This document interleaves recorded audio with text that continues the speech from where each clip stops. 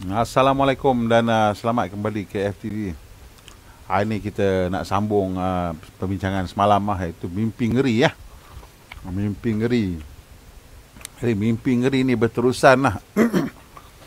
Antara salah satu dia punya benteng petanan terakhir industri otomotif ialah um, kononnya kononnya industri kereta elektrik ni walaupun tiada pencemaran. Di exhaust. Tetapi pencemaran di penghasilan bateri dan apa sebagainya sebenarnya tak bersih lah kan? Tapi hari ini kita dapat satu lagi. Benteng juga, juga telah dijatuhkan. Jadi mimpi ngeri kita menjadi bertambah teruk. Jadi sebelum kita nak cerita tentang mimpi ngeri tu Waalaikumsalam printing. Kita nak tengok cerita daripada Korea ni eh. This is the Korea Economic Daily eh dan uh, semalam kita cerita bagaimana syarikat-syarikat kereta akan mula berubah angin lah. Mungkin akan mula panik lah. Kan? Tentang apa yang sedang berlaku.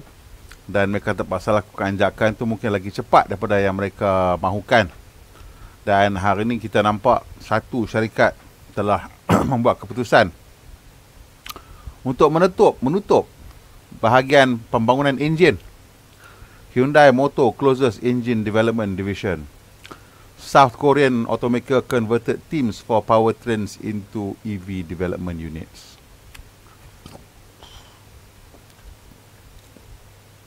Jadi kita tengok Hyundai uh, Kia ni salah satu syarikat yang ada menghasilkan beberapa kereta uh, elektrik lah iaitu Kona EV dan uh, Ioniq dan Ioniq 5 sekarang eh dan uh, kalau dalam uh, untuk Kia pula dia ada Kia Soul EV kalau tak silap saya. Dan juga dia ada uh, Kia EV6 lah sekarang yang menggunakan eGMP punya platform baru dia orang eh. Dan uh, jadi kenapa dengan hanya ada beberapa model kereta elektrik? Yang banyak lagi model-model biasa ni dengan Staria dia dengan uh, Elantra dia apa dia punya sedan-sedan besar dia semua tu semua kereta ICE. Dan uh, dia orang ni baru aja masuk dalam cerita rally apa semua duk start nampak cantik dah ni dengan enjin ICE dia apa dengan dia punya N cars dia Namyang cars dia kan BMW ada M dia ada N tapi tengok-tengok hari ni buat pengumuman tutup bang tutup closes engine development division actually berita ni Disember 23 minggu lepas eh. tapi saya baru dapat tahu hari ni ya. Hyundai Motor closes engine development division South Korean automakers converts teams for powertrain into EV development units. Ha, jadi saya dah cakap dah tahun 2022 ialah tahun di mana depa panik. Siapa yang tak panik lagi akan panik tahun 2022. Siapa tak panik lagi by 2022 tu memang bodoh. Dan memang tak tahu apa dia dungu. So sampai do, antara 2022 dengan 2025 depa kena rancang macam mana nak jadi lebih cepat berubah ke kereta EV. Kalau by 2025 hampa tak boleh lagi nak sort out your problems. Bye bye. The world is going to leave you behind. Because by 2030 saya rasa minimum 50% is already EV. Ni saya cakap global lah global.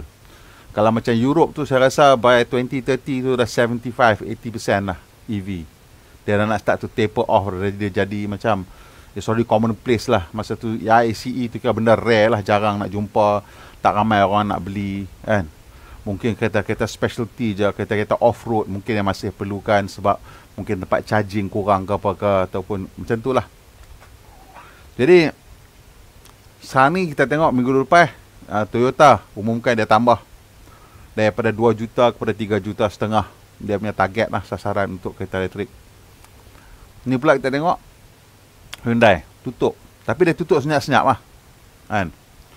Dari pasal ni sumber ni kita dapat daripada sources lah cerita ni daripada sources lah. Hyundai Motor Corp, South Korea stock automaker will stop developing new internal combustion engines in order to accelerate its transformation into electric vehicle manufacturer. Kenapa dia kena berhenti? Sebab sumber tak cukup. Mana nak cari engineer lagi? Ada-ada ni pun ramai dah. Kan? Jadi apa kita kita tutup je enjin tu, yang division tu kita buat IC I, uh, EV senang cerita. Kalau tidak nak kena split dua cara, dia tak jadi cerita. So kena commit lah. So bila kita tengok daripada commit macam ni, bila dia dah tutup dah new development uh, engine development let's say the last engine dia develop hak baru keluar katalah yang baru ni apa nama dia dalam 3 4 tahun lepas lah so engine tu ada life cycle mungkin lagi uh, 10 tahun selalu engine boleh 15 20 tahun lah kan? So paling lama engine tu boleh pi kata baru launching uh, 2 tahun lepas 3 tahun lepas katalah tahu baru launching tahun 2020 ke 2018 ke so paling lama dia boleh pi 2038 paling lama. Lepas tu dah nak kena buat uh, new development lah kan? So uh, so engine uh, paling pendek 10 tahun lah. 10 tahun 15 tahun boleh selalunya dalam 20 tahun lah engine-engine ni kalau kalau dia tak pakai uh, dia dia buat head baru tu dia kira engine baru dah. So block tu mungkin dah 3 40 tahun. So yang ni mungkin kita kata head barulah head baru dalam katalah 2 3 tahun lepas. So head baru tu mungkin tahan 5 10 tahun lah kan. Lama pun 15 tahun. Ada juga yang stretch bagi lama lagi. Tapi kira kita kira 15 tahun lah. Tiga generasi kereta lah. Ini maksudnya kalau 15 tahun sampai uh, 2034 macam tu lah ada lagi lah boleh pakai lagi lah enjin yang ada ni tapi enjin tu by 2034 dah kira jadi enjin yang caples lah kan enjin yang tak shock lah tak bagus lah dah lama lah The group's large, larger car maker closed its engine development division at its research and development center, according to industry sources, on December 23rd. The Namyang R&D Center in South Korea is the group's brain with about 12,000 researchers. It's now inevitable to convert into electrification. Kita tak boleh nak buat apa dah. Tak boleh nak elak dah. Said the newly appointed R&D chief Pak Chung Kuk in an employee email to employee. ah, tu dia. Our own engine development is a great achievement, but we must change the system to create future innovation based on, based on the great asset of the past. Dia tak boleh sentimental benda ni. Tak boleh sentimental. Ya, kita develop engine cantik, terror, bagus. VTEC. Apa benda ke engine ke? Earth Dreams ke? Uh, Mazda punya apa? Ama engine semua. Tak kira lah terror macam mana pun engine nampak. AMG ke? BMW punya M engine ke? Tak boleh buat apa lah.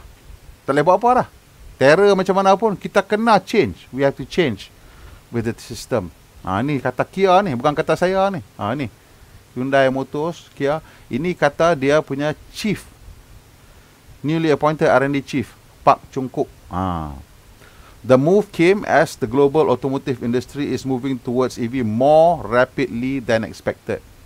Jadi all the linear projection yang saya tunjuk semalam saya tunjuk kan semua linear projection sama ada daripada siapa ke Bloomberg ke siapa ke tunjuk kata 50% adoption dia lah tahun 2050. Dah saya cakap. Eh 2040. 50% adoption tahun 2040. That's why Toyota tasarkan 33.5 million by 2030. Pasal by 2030 banyak sasarkan 30%. Jadi Toyota assume dia punya 10 million tu 33 juta 30% will be EV. Tapi dia target 3.5 so dia ada buffer. Itu Toyota punya perancangan based on all those linear projection. Tapi banyak pakar lain yang setuju bahawa bila berlaku perubahan teknologi, the adoption rate will not be linear but it will be exponential. Dan untuk kereta elektrik ni dijangka the adoption daripada kita kena tengok daripada inflection point lah. So inflection point sekarang kita berada dari lebih kurang global around 3%.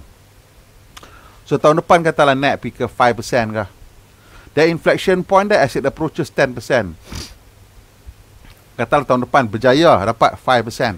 Tahun ni saya rasa lebih mungkin 3.5 maybe. Katalah tahun depan dapat 5%. Tak apalah kita bagilah discount 5%.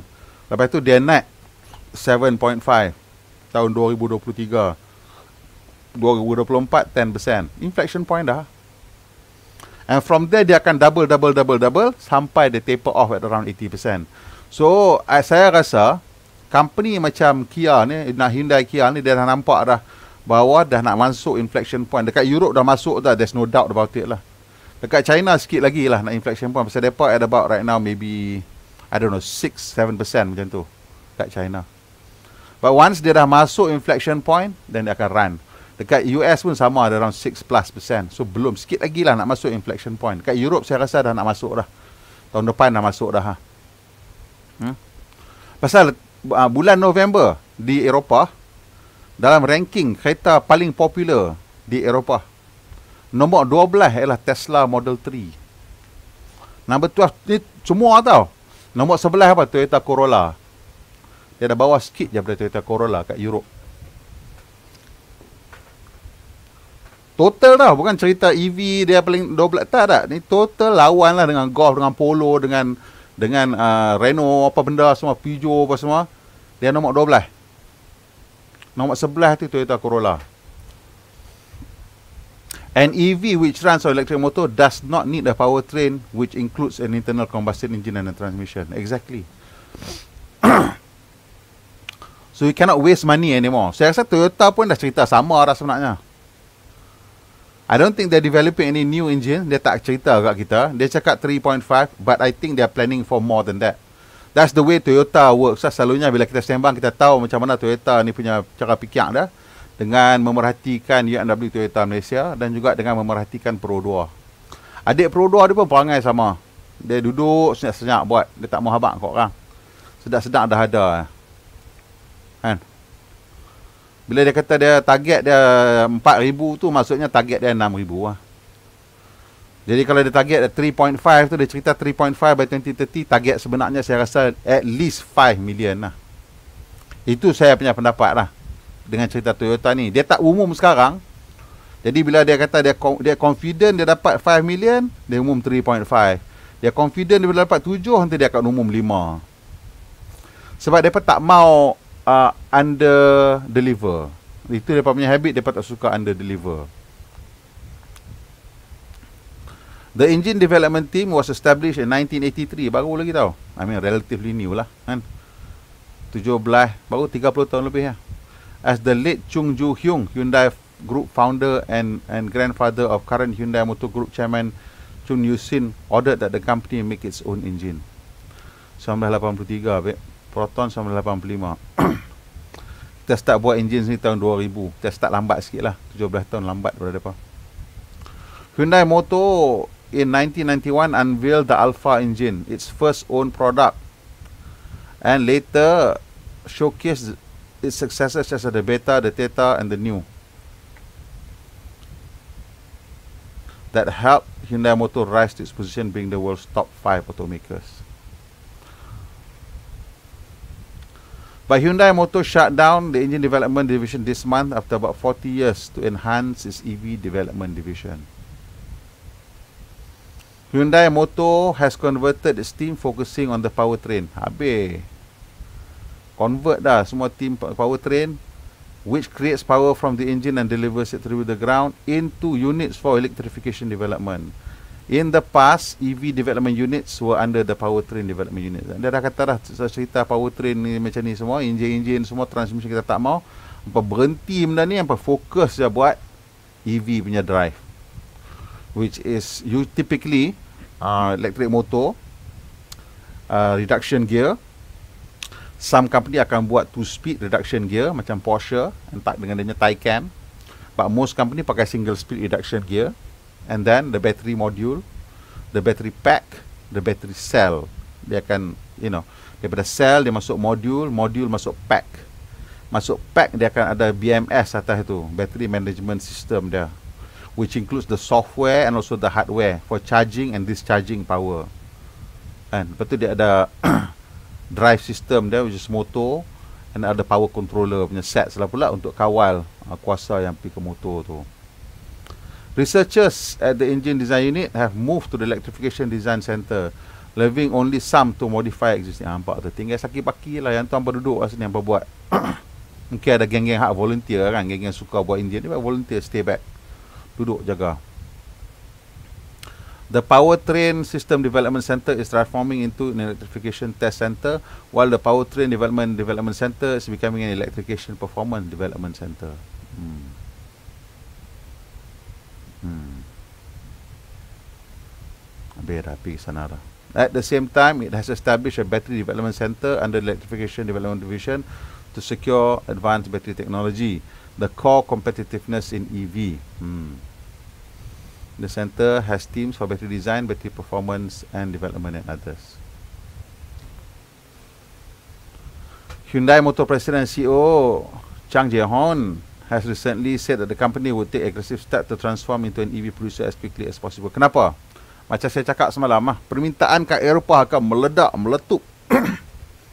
Jadi kalau permintaan meletup, hang nasi lemak dah habis, goreng pisang dah habis, kereta lah tak ada, motosikal tak ada, apa pun tak nak jual, boleh nganga je kedai kosong nanti. Tengok orang lain semua berebut pergi kedai lain beli kereta, hang menganga tak ada apa nak buat. Hyundai Motor and Kia Corporation unveil its target to sell 1.7 million EV worldwide in 2026. Higher than 1 million units in 2025 given the rapid growth in the global EV market. Tapi ini tak cukup ni untuk depan ni.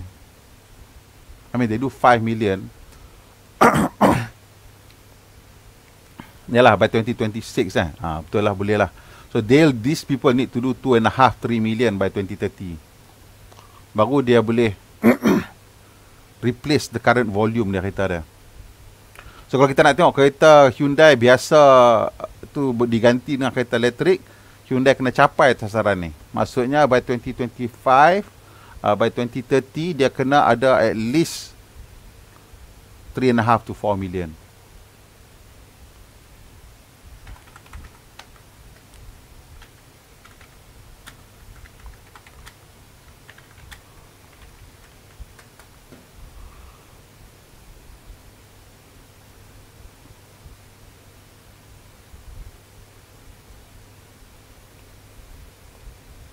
3.74 million. So dia orang buat 550 nah dia orang buat ni lah 3.7 sekejap kita kira betul-betul.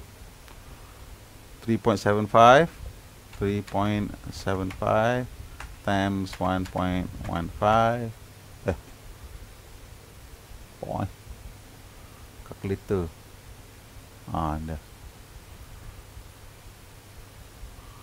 Oh tiba-tiba bing nap lah Wish. calculator 3.75 million 3.75 times. So depa ni volume depa in 2018 masa peak tu about 5 million. So they need to do 2.5 million. Kalau dia tak boleh buat 2.5 million right now they're doing 3.7 2.4 macam tu lah. But dia orang punya uh, real volume dia orang is near, near, nearly 5 lah nearly 5 million lah. so bila kita tengok macam ni ni memang terpaksa EVs are predicted to dominate the global market before 2030. Hmm. Compared to forecast made in 2020 that the eco-friendly automobile is expected to account for half new car sales in 2040. Nampak aku cakap? Tahun lepas, sasaran tahun lepas semua cakap macam tu. Half of EV sales, half of car sold in 2040 is EV. Ah, tapi 2021 punya projection semua dah lari dah. Semua dah macam, whoop, Brother sudah berubah. Ini semua sudah larilah kita punya unjuran. Start kira balik ya.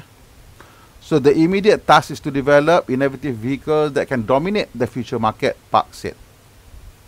This reorganization will be an important starting point for change ahead in the new year.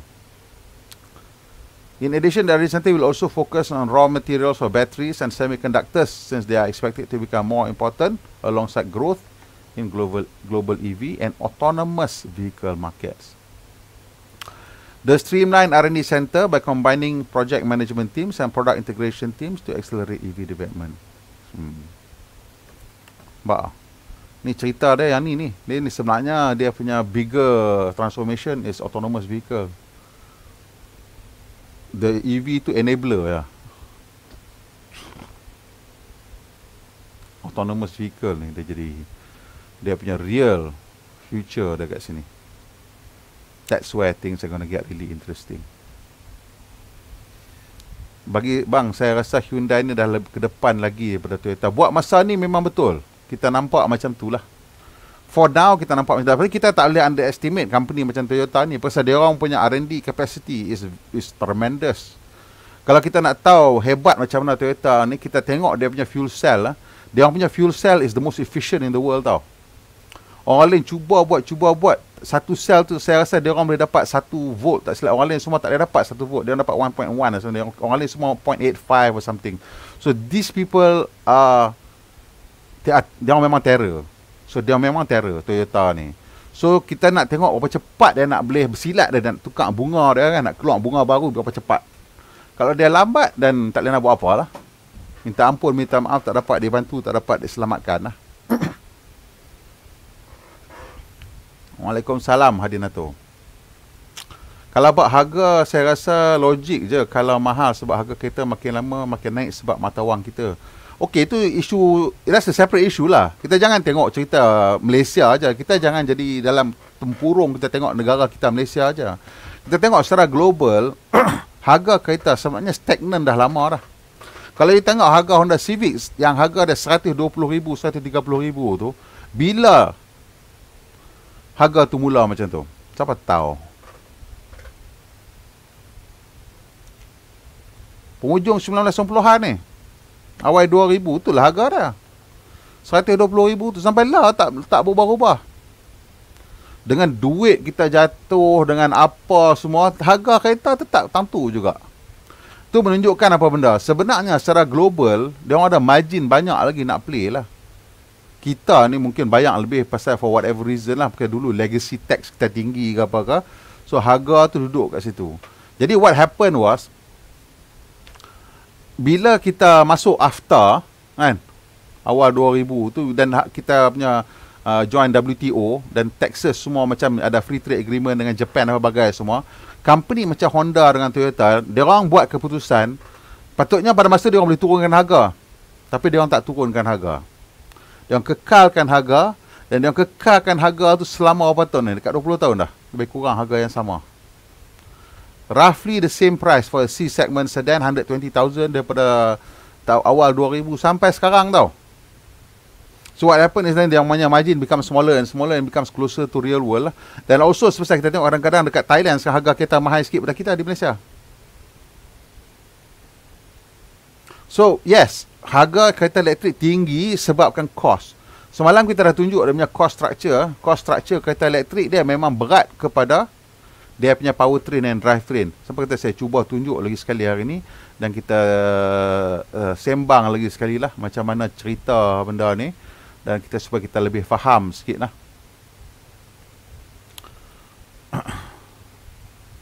saya tunjuk lagi sekali ya, boleh ya? Boleh tak? Saya tunjuk lagi sekali.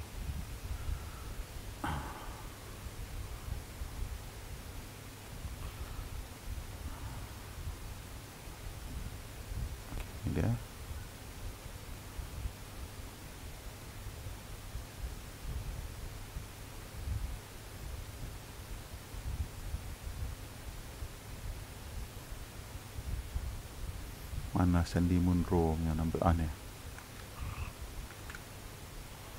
saat saya sungguh kejap saya nak tunjuk satu benda sekejap supaya kita boleh lebih faham apa yang sedang berlaku sekarang ni tau eh. So, benda ni dia penting ni tentang kos ni cost ni dia punya aspek paling besar mimpi ngeri ni lah. Okay.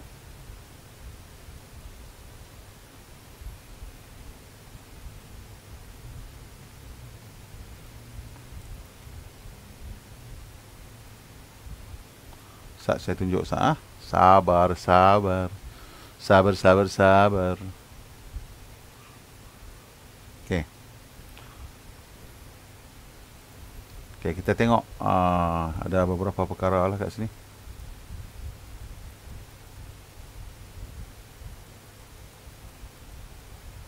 Okay. Ni dia. So ini uh, total cost. Ah, ini kita buat pemain nak tunjuk ni, tunjuk bahawa kereta ICE ni dia punya total cost dia 16% dia punya powertrain. 84% benda-benda lain kan tak terlibat dengan powertrain sama ada entertainment system ke kursi ke aircon ke adas ke apa benda ke mak nenek ke semua kat situ cost powertrain 16% sahaja tu pasal semalam saya cerita masa tahun uh, awal 2009 2010 tu masa Tesla keluarkan Roadster dia masa tu cost battery pack mungkin dalam 1200 dolar. Uh, battery cell tau campur dengan pack apa dah mungkin lebih lah. Tapi let's say kita kata 1200 dolar macam tu lah. So masa tu cost battery cell dalam Tesla Roadster yang kapasiti dia 52 kW tu satu point cost dia ialah 1200 dolar untuk setiap kilowatt. Jadi kalau kali dengan 52 dah dapat berapa dah dekat 60 ribu dolar cost. So kat sini. Ni tak ni bawa kat sini je. Battery cell je ni. So kereta tu kena jual lebih kurang berapa ratus dolar aku tak tahulah baru 200 ribu ke dekat lah. Macam tu lebih kurang lah. Kan? So which is that's what it was lah. That's what it was. Oh. Battery pack. Ni cell lah So the whole pack ni mahal campur. So that mean betul lah kalau sekarang dia kata the whole pack harga lebih kurang dalam seribu dalam seratus uh, 20 that means sell dah batu jauh banyak lah. Kan? So sell dah jatuh bawah pada 100 dolar dah lah. So ok sekarang ni kita tengok. Cost benda ni bila dia start tu jatuh sampai jadi lebih kurang macam ni which is happening already electric motor and power electronics ni pun akan jatuh banyak nanti. Pasal apa? Sebab buat masa ni tak ramai orang buat. Yang dedicated untuk kereta tau. Electric motor and power electric yang dedicated untuk kereta. Selalunya untuk kereta ni dia punya grade dia tinggi sikit lah daripada uh, aplikasi lain. Kecuali aplikasi industri. Yang tu beza. Dengan aplikasi komersial tu beza lah tapi electric motor untuk kereta ni dia kena high performance jugalah pasal it's, it's safety matter so this all will go down ni dah jatuh dah this one has dropped by quite a lot lah. So but right now still this this is the level. So this ones once they start drop jatuh. That's why Hyundai dah stop buat benda ni pipet fokus kat sini pasal this is such a huge cost. They need to bring this down. And dia orang baru nak start buat. Tesla dah buat sejak tahun 2003. 2009 was their first commercial car. And berapa lama dah dia buat. So kita tak tahu dia orang punya cost ni sebenarnya macam mana. Ha ini. Ha ini uh, Sandy Monroe punya uh, sasaran. Dia kata untuk IC dia kata 18%. Tadi kata 16%. And dia pula kata 51% cost of powertrain. The other guys kata 50%. 50-50. So lebih kurang lah. Ha, dia tunjuk interior. Interior ICE tinggi mahal. Ni 9% lah. Body exterior ICE mahal. Kereta elektrik yang simple control electronics ICE banyak yang ni jadi murah pasal apa pasal integrated untuk kereta you nak kena ada control system untuk untuk engine you kena ada control system untuk transmission dan lain-lain so untuk kereta elektrik dia pun ada tapi I think it's probably simplified lah pasal most of it is dalam dia guna center screen tu so everything is just packed into the center screen so you just just save money lah on the control electronic and the chassis uh, untuk kereta elektrik pun lebih murah berbanding chassis kereta ICE. Yang ni mungkin pasal kereta ICE dia orang fokus banyak kat situ lah. Disebabkan cost powertrain dia orang rendah so dia orang boleh bagi lebih kat sini. So this is why bila kita tengok sekarang interior Tesla Model S ke, Model 3 ke, Model Y ke memang masih belum boleh lawan dengan BMW 3 Series ke, A4 ke, Mercedes C-Class ke walaupun harga dia lebih kurang. Sebab apa? Sebab cost ni tinggi sangat. Nampak ni? 51%. Jadi body exterior dia pun simple dan tak boleh spend banyak sangat duit kat situ. That is why Tesla sibuk tengah develop giga casting nak bagi turun ni. Yang nak bagi turun ni. At the same time they also chasing this. Bring it down, bring it down, bring it down. So dia orang punya cost kan kita tak tahu kat mana arah sekarang. We don't really know. And they might have reduced dia orang punya cost of powertrain by half already for all we know by now. Kita tak tahu. Control electronics uh, Yang ni memang kita nampak lah uh, Tesla is spending a lot of money here Pasal nak jadikan kereta autonomous Untuk chassis pun kita tengok Dia punya driving dynamic kita tak sama Walaupun kita bawa Tesla Model 3 dengan Polestar tu Polestar tu rasa lebih more of a driver's car Walaupun kita bawa Model 3 tu Dia masuk corner memang melekat macam Macam apa Pacat noh Melekat kat corner Sap tarik Pasal dia all wheel drive Dia dual motor Dia all wheel drive So dia boleh control power tu dah hantar Tapi bila you bawa Polestar kita merasa dia lebih more like a driver's car. You can feel the car. Yang Tesla tu tak. Dia memang flat. Dia rasa macam bawa video game. Yang tekan dia tarik je habis. So dia tak ada rasa sangat. You cannot really feel what the car is. That's why tengok chassis ni punya uh, costing dia memang. They just have to save money. Bukan masalah dapat tak mau bagi. Because this is so high right now. But somehow, sekarang Tesla punya margin 30%. Orang lain punya margin paling-paling kuat uh, Toyota at 18%. Mercedes-Benz pun lebih kurang kat Toyota 18% tu jenama mewah lah so kita tak tahu sebenarnya cost dah turun banyak mana and that is why Hyundai buat keputusan untuk transfer. Syarikat pembekal produk kereta dan negara boleh ambil peluang jual parts kecil-kecil untuk kereta mungkin boleh jadi major supplier. I think it's true. I think it's true. Now what uh, companies need to do is to fikirkan untuk kereta elektrik ni mindset dia macam mana. Orang yang beli kereta elektrik ni cerita dia macam mana. Pasal kalau you tengok sekarang macam saya cerita semalam, the perbincangan dengan uh, Elon Musk tentang software is pasang nak pasang game Roblox. Nak pasang game Roblox kat dalam Tesla. Itu discussion, actual discussion dengan big boss number one Tesla. Dengan orang paling kaya di dunia, Elon Musk. Gerber Kawasaki, ini satu investment firm. Ross Gerber tanya Elon Musk. Ross Gerber ni orang jaga stock market dia investor dia jaga apa nama orang panggil apa nama all those investment fund lah Ross Gerber tanya Elon Musk sama ada nak bubuh Roblox? Apa akan letak Roblox tidak ke dalam Tesla? Ha, itu dia punya perbincangan dia. So cerita ni semua dah dah berlainan. Jadi kalau you orang yang cekap tengok trend uh, gadget apa benda lagi yang boleh cucuk dalam kereta ni? Apa benda lagi yang boleh guna dalam kereta Pasal kita kena bayangkan lepas ni kereta tu dia dah makin canggih dengan dia punya driver assistant semua. So apa benda lagi yang kita boleh buat kat dalam kereta tu?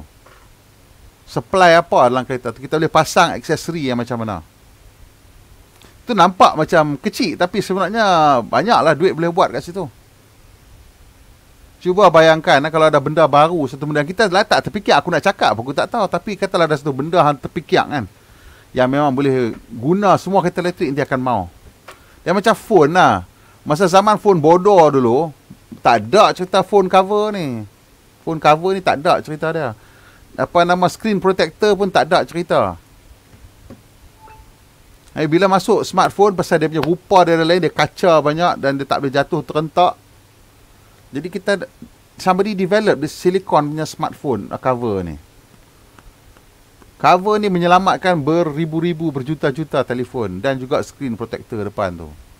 So kita tak tahu kereta elektrik ni apa benda dah. Macam you cakap lah. You kena fikir apa benda nak buat ni. Sama ada is about modifying the drive system. Eh, tak tahu lah. Mungkin ada modul tanpa piggyback. Yang boleh change the drive system untuk jadi benda-benda lain pula ah. Macam mana tak tahu lah, kan. Dia boleh jadi macam tank ke kan. Dia boleh kita tengok Rivian buat kan dia macam tank kan dia pushing macam tu on a dime. Could be something. Ice automakers mesti learn, relearn and relearn kalau tak bungkus. Memang betul, tak boleh nak buat apa. Yang Toyota kata 3.5 juta berapa jalan Malaysia dapat? so, okay. Uh, again, saya bila Toyota kata 3.5 juta, saya rasa sebenarnya dia orang ada keupayaan menghasilkan sehingga 5 juta up to 5 million. So Toyota suka under undersell lah. So kalau sama dan kemungkinan besar lah by 2030 dia orang boleh lah supply Malaysia ni sekali. Kalau global punya adoption rate is uh, is is uh, roughly 50%. Of course priority dia akan tetap ke Eropah. Cuma kalau kita tengok global lah, as a global adoption rate kalau is 50%, then we can see the same number of cars Toyota hantar sekarang as EV. Cuma half the volume lah. Pasal kita assume 50%. So kalau kata sekarang Toyota jual 75,000 kereta setahun, 80,000 kereta setahun, so setahun dia boleh hantar 40,000 EV dan 40,000 kereta ICE. So kalau semua orang capai tahap yang sama, dia akan jadi macam itulah 50-50. So of that 50-50 tu akan ada juga kat situ plug-in hybrid apa bagai semua mak nenek lah. Kan? I think plug-in hybrid will be almost the remainder 50% tu. So 50% EV, the remainder is plug-in hybrid dengan hybrid biasa. Itu just to tie over bila infrastructure tak cukup lagi. setengah-setengah tempat infrastruktur belum cantik lagi so setengah orang kata okeylah aku terpaksa pakai ambil lah plug-in hybrid but the reka bentuk plug-in hybrid tu pun kita tak tahu rupa dia nanti jadi macam mana lah it could be uh, using smaller engine bigger motor and the range, range extender capability tu mungkin betul-betul memang as a range extender. So mungkin you can will not see anything bigger than a 1.5 liter as a range extender. And battery PHEV tu kalau sekarang PHEV battery mungkin I don't know 8 10 kilowatt maybe lah paling-paling besar pun. You start having battery PHEV 20 sampai 30, 20 kilowatt 30 kilowatt and then you have a range extender motor uh, dynamo kat situ yang akan manage the the energy usage on board yang untuk PHEV. So you ada different different mode saya rasa lah. Yang hybrid biasa tu pun mungkin bateri dia semakin besar, engine semakin kecil. Mungkin. Saya rasa macam tu. Rafiq Rosan soal tu, SIMW buat masuk kereta jenama apa ya? SIMW bukan setakat based on pertanian ke? Tak, SIMW punya auto connection uh, saya cuba ingat semua jenama dia eh. Yang ada dengan dia ialah Hyundai satu. Kemudian dia ada Land Rover Kemudian dia ada BMW. Kemudian dia ada Jaguar. Kemudian dia ada Porsche. Kemudian Ah itulah dia, tak silap saya. That's the brand ada lima jenama besar dengan dia. Dia kalau dah full EV adoption dah tak boleh buat apa, dia mati ya. So depa pun kena transition. So siapa-siapa yang Lani katalah there are small small companies that do nothing but buat valve. There small small companies that do nothing but mungkin uh, buat grinding, finishing untuk camshaft. Depa semua tu kena transition pergi ke benda lain lah. Company-company yang buat uh, nothing but uh, bearings untuk engine. Engine banyak bearing kan. Dekat conrod, dekat, dekat camshaft. Uh, crankshaft punya main bearing banyak kan. Uh, so benda-benda tu semua nak kena nak kena tukar. Yang buat fuel injection system semua kena berhenti lah. So depa buat electronic fuel injection so dia mungkin kena move into some other kind of electronic body control electronic control system untuk EV pula. ICE dah habis research dah. Camless pun tak kembang. Betul lah dia buat tu. Research EV jalan terbaik. Ya, saya setuju sangat-sangat pasal you know kena pakai camless katalah macam uh, apa nama tu? Uh, Koenigsegg kan. Koenigsegg punya engine kan camless kan. So camless punya engine idea ni sebenarnya bukannya baru daripada start tengok pakai solenoid valve ni saya ingat Saab buat prototype. Saab kot tak silap saya. Buat prototype tahun 1990-an dulu dah tunjuk kan ada konsep GM pun dah tunjuk konsep konsep camless ni saya ingat dah ada 40 30 40 tahun lah. Uh, tapi ini baru start macam keluar ni sekarang ni lah. Pasal bilang once they started doing solenoid punya uh, control system untuk uh, apa tu? Fuel injector. So dapat tahu dah how fast solenoid will react. Cuma sekarang cerita dia how do you make it reliable and how do you make it um, durable. Pasal kalau dalam engine uh, fuel injector, kalau dia fail engine mati. Tapi dekat valve kalau dia fail engine boleh rosak, kena rosak mungkin rosak kena overhaul atau mungkin kena buang kalau pecah conrod bengkok apa semua ada isu masalah yang lebih besar. So that's why benda cerita macam camless tu pun dah macam macam Bob cakap lah, tak boleh nak pi dah. Yes, Dabi ada banyak division. Yes, we welcome. Betul. Whatever brand kita tak kisah. Uh, nak tanya yang dah ada EV suspension ada problem tak lepas pakai lama-lama sebab kereta EV kan berat. Okey, sekarang kita tak tahulah selalunya kereta dia akan design suspension tu ikut berat lah. Whatever the weight rating, dia akan jadi macam tu lah. Kan? Cuma cerita dia lah yang saya pengalaman saya, bila saya pandu uh, Tesla Model 3, Polestar 2, dia punya masalah dia sama. Iaitu bila uh, kita lalu speed bump, speed bump kat rumah saya semua ikut spek. Tak ada speed bump mengarut. Tak ada speed bump pasang sendiri punya. So speed bump kat rumah saya, bila saya naik, kalau kata kelajuan tu tinggi pada 20 20 25 km sejam, dia akan naik turun sebelah sana, dia akan scrape bawah. Sebab benda tu berat. Jadi spring dia tu akan compress lebih sikit walaupun dia dah adjust pasal dia tak boleh keras sangat pun. Kalau keras sangat jadi kita pula tak selesa. So dia nak dapat balance antara comfort dengan uh, spring tu cukup kuat untuk hold up the weight dia bias sikit kepada comfort lah. Banyak kereta elektrik dia akan bias sikit pada comfort lah for whatever reason because maybe kereta elektrik memang more comfortable so dia lebih senyap. So might so you bias towards comfort lah. That is why Tesla Model 3 tak lepas test dekat India. Test speed bump tu ada yang tak lulus tu. So kat Malaysia ni pun kalau ada test saya rasa tak lepas juga. Sebab dekat rumah saya kantoi memang kantoi ada 2-3 speed bump semua nanti akan script lepas tu saya baru bila first time kenal tu kata ish apa ni? Lepas tu saya tengok oh dia bila kita try lah kat banyak-banyak speed, dua tiga speed bump kan sebelum sampai rumah dah kena gerguk gergak gerguk krak krak krak saya saya try pelan-pelan. Bila saya pelan then okay dia punya compression tak banyak sangat. So your question memang valid lah. Saya tak tahu berapa lama dia tahan sebab memang kereta elektrik lebih berat. So whether bushing tu kan habis cepat saya tak tahu. Macam spring tu mungkin dia dah dah calculate for lifetime lah. Damper saya tak tahu tapi mengikut sekarang kita tengok cerita Tesla punya ni dalam 2 tahun lah dia punya service interval. Dan uh, 2 hingga 4 tahun lah setengah kereta. Dia kata tunggu bila kereta bagi tahu sekarang tak servis tapi saya rasa dampers ni mungkin 2 to 3 years tu mungkin lah mungkin kena pergi tengok lah. Kan? Kena pergi tengok, tengok macam mana. Sebab apa? Kereta elektrik memang berat. Ha, itu betul. Itu dia memang berat. So kat situ mungkin ada cerita sikit lah tentang berapa lama dia boleh uh, bertahan Okey, lepas tu kita nak tengok uh, cerita seterusnya pula. Jadi cerita seterusnya ni lebih uh, lebih ni lah. It's uh, more agak technical jugalah. Okay. So ni dia punya uh, berita dia.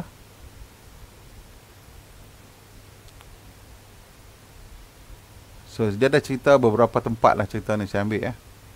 Tapi cerita ni same about the same uh, research lah, the same study. Okay.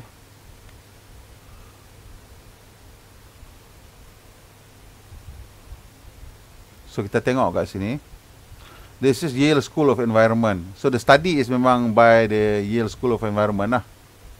So ni mula ni engineering technology yang ambil. Pick up daripada Yale School of Environment. And this is the actual study. Okay. Is the actual full study. So kita tengok satu-satu berita ni. Electric car supply chain carbon emission lower than ICE vehicles. Study finds. Jadi salah satu uh, benteng pertahanan terakhir industri ICE ialah kononnya bila kita campur semua tahap pencemaran yang dihasilkan oleh kereta elektrik dalam proses penghasilan bateri dan motor dan lain-lain dan juga tahap pencemaran yang dihasilkan oleh stesen jana kuasa katanya ada kemungkinan kereta elektrik adalah lebih kotor dan lebih menghasilkan lebih banyak karbon berbanding dengan ICE. Itu that's the last argument. You akan dengar argument ni dia orang panggil the long tailpipe argument. Maksudnya dia kata tailpipe kereta tak ada kat situ tapi maksudnya tailpipe dia sampai ke stesen jana kuasa sampai ke Lombong dia keluar kat sana dia tak keluar kat sini. So that long tailpipe argument is the last last last last benteng pertahanan. Benteng pertahanan terakhir industri ICE ialah ni. Ini benteng pertahanan dari segi PR lah, public relations benteng pertahanan sebenar dia orang yang terakhir ialah kos. Kos. Dia boleh tahan. Dia kata kereta elektrik mahal. Saya tunjuk tadi carta-carta kan. Kereta elektrik mahal daripada kereta biasa. Jadi tak mungkin kita orang boleh menghasilkan kereta elektrik yang boleh bersaing dengan kita pada harga. Ha, semalam saya dah tunjuk dah benda tu pun dah terungkai dah. Terungkai dah. Ha, bukti dia lagi hari ni Hyundai pun kata bye bye. Aku dah tak boleh nak fikir dah kereta engine IC ni. Aku dah tak boleh nak buat dah. Surat pening-pening pala bye bye. Bye bye. Okay. So itu dia punya benteng pertahanan yang sebenar yang terakhir. Benteng pertahanan PR yang terakhir ialah pencemaran. Long tailpipe. Sebelum ni dia kata ah, kereta elektrik mahal. Sekarang saya tunjuk semalam walaupun kira kalau kereta harga kereta elektrik itu mahal setinggi lebih sampai 20% pun orang masih lagi nak ambil kereta elektrik kalau di Eropah kerana penjimatan dalam masa 4 tahun kos selenggara dan kos bahan api akan dah kampui balik dah dalam tempoh 4 tahun saja. So so argument uh, harga tu dah tak begitu power. And tinggal argument cost tu lah. Tu yang dia kata masih lagi mahal by 20%, 30%, whatever lah you nak cakap. Tapi bila pembeli dah kata, tak kisahlah, tak apalah, 10% mahal pun. Tak apalah kalau 20% mahal pun, aku nak juga pakai kereta elektrik. Sebab aku dah congak dah. Dari segi maintenance dan segi tenaga, it works out better for me within 4 years. Itu kat UK lah. Kat UK pasal beza harga elektrik dengan harga minyak dia tinggi. Kita kat Malaysia mungkin tak 4 tahun, mungkin 6 tahun, mungkin 7 tahun. Sebab harga minyak kita rendah dan harga elektrik kita pun okey lah. So dia punya perbezaan tu tak banyak. Macam kat UK harga minyak macam ni, harga elektrik macam tu. Kita harga minyak macam ni. So tak dia nampak macam uh, kurang sikit lah. So saya kira congak kalau saya penjimatan sekurang-kurangnya 30 hingga 35%. Kalau cantik mungkin sampai 40% sampai 50%. Bergantung pada kereta yang uh, kita beli dan macam mana kecekapan tenaga dia dari segi kereta elektrik. so ini kajian daripada Yale lah the total indirect emission from electric vehicles pale in comparison. Pale in comparison. Maksudnya jauhlah sangat bezanya dengan indirect emissions from fossil fuel powered vehicles. Ha, so hampa duk cakap kata in the supply chain and everything else indirect emission mungkin lebih teruk pada ICE study ni kata tak tak tak sebenarnya ni dia ICE mengatakan ni dia punya pencemaran macam mana dia jadi dapat satu keputusan yang sangat berbeza. Dan ini Yale University ya, ini semua universiti top-top mah bukan universiti cikai-cikai ke apa benda kan, kan. Indirect emissions include those produced by supply chain by the supply chain of the vehicle components and the fuel used to create the electricity that charge the vehicle. So dia dah campur tau, everything tau komponen masuk bateri, masuk motor, masuk apa semua, rare earth lah, lithium lah, cobalt lah, apa benda macam semua dalam tu dah. Dan juga the fuels used to create the electricity that charge. So campur juga ni hampa kata stesen jana kuasa kotak lah. Kita apa? Kita campur sikit dalam tu. Semua pencemaran ni. Kita campur tengok macam mana. The surprising element was how much lower the emission of electric vehicles were. Hmm. Said researcher Stephanie Weber. The supply chain for combustion vehicles is just so dirty that electric vehicles can't surpass them even when you factor in indirect emission. Hmm. Mbak tu. Mbak. Hmm. The research team combined concepts from energy economics and industrial ecology, iaitu carbon pri pricing, life cycle assessment and modeling energy systems. Okay? So ini semua benda-benda penting ni. Carbon pricing ni adalah satu isu yang sangat penting kerana how do you account for the cost of everything? Cost yang tak termasuk cost yang boleh kira dekat dalam buku account ialah cost terhadap alam sekitar which is yang sekarang yang kira carbon pricing lah. It is not accurate but it's something. Life cycle assessment maksudnya that boleh kita semula ke tidak? Berapa lama jangka hayat dia? Dalam masa jangka hayat tu macam mana? Dia keluar karbon ke tak keluar karbon ke dia serap karbon ke dia apa dia buat? Dan modeling of energy system. Jadi energy system ni modeling untuk energy system ni memang selalunya macam kita di Malaysia pun kita probably do some kind of modeling for our whole national energy system. Maksudnya bila kita cakap energy system selalunya ni grid lah. Bekalan elektrik. Dan juga mungkin bekalan-bekalan tenaga lain lah. Juga mungkin kita saya tak tahu tapi uh, selalunya ini tunjuk uh, uh, grid dan campur benda-benda lain sekali lah. So, bila you tengok ni, you kata, okay, berapa banyak pencemaran yang dihasilkan oleh grid sekarang? Uh, kita nak assign that emission to every single thing yang pakai grid tu. Daripada rumah kita, ke lampu, ke komputer, ke toaster, periuk nasi, peti eh, aircon, semua nak kena assign all that emission yang dihasilkan. So juga nak assign pada kereta. To find the carbon emission, to find if the carbon emission will still reduce when indirect emission from electric vehicle supply chain were factored in. Mm, yes. A major concern about electric vehicle is that the supply chain, including the mining and processing of raw materials and the manufacturing of batteries, is far from clean, said Professor G Ken Gillingham. So, if we price the carbon embodied in these processes, the expectation is electric vehicles would be exorbitantly expensive. Ha, dia, ni cerita dia, dia nak masukkan price carbon tu, dia tadi carbon pricing tu. Kalau you tengok all the cost of this carbon emission dalam battery, dalam apa benda lagi lah, dia punya the whole supply chain, kalau katalah you boleh charge for the carbon, it would make electric cars even more expensive. It turns out that's not the case. It turns out that is not the case. If you level the playing field by also pricing the carbon in the fossil fuel vehicle supply chain, electric vehicles will come out. Would actually sales of electric vehicle sales would actually increase. Ni yang ramai mereka lupa ni. Bila mereka sibuk cakap pasal pencingat hari tu minggu lepas saya buat cerita. Saya kata hampa tanya apa? Jangan samakan bateri dengan minyak. Battery is not the new oil. Don't say that. It's not the new oil in the sense that it's not the same as oil. It's the new energy kita should cakap. Jangan pakai oil. Jangan samakan. Don't draw any parallels at all to oil and hydrocarbon. Don't because they will use that and turn that around to to poison your mind. So, jangan langsung draw. Battery is the new energy source. Yes, okay. Battery is the future of energy. Yes, fine. Boleh kata macam tu.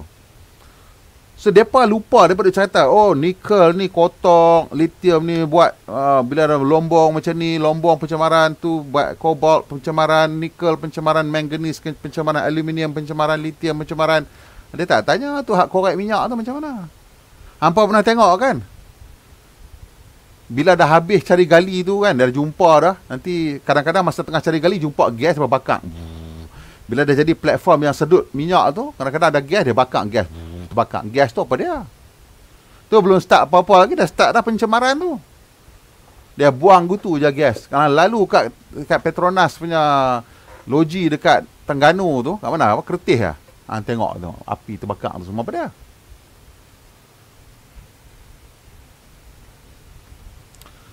Dia kata if you factor, if you level the playing field by also pricing carbon in the fossil fuel, vehicle supply chain, electric vehicle sales would actually increase. Pasal apa electric vehicle Pasal actually, there is lot less carbon. Kalau hang campur semua ni, sebenarnya electric car sale cost dia is lower than ICE.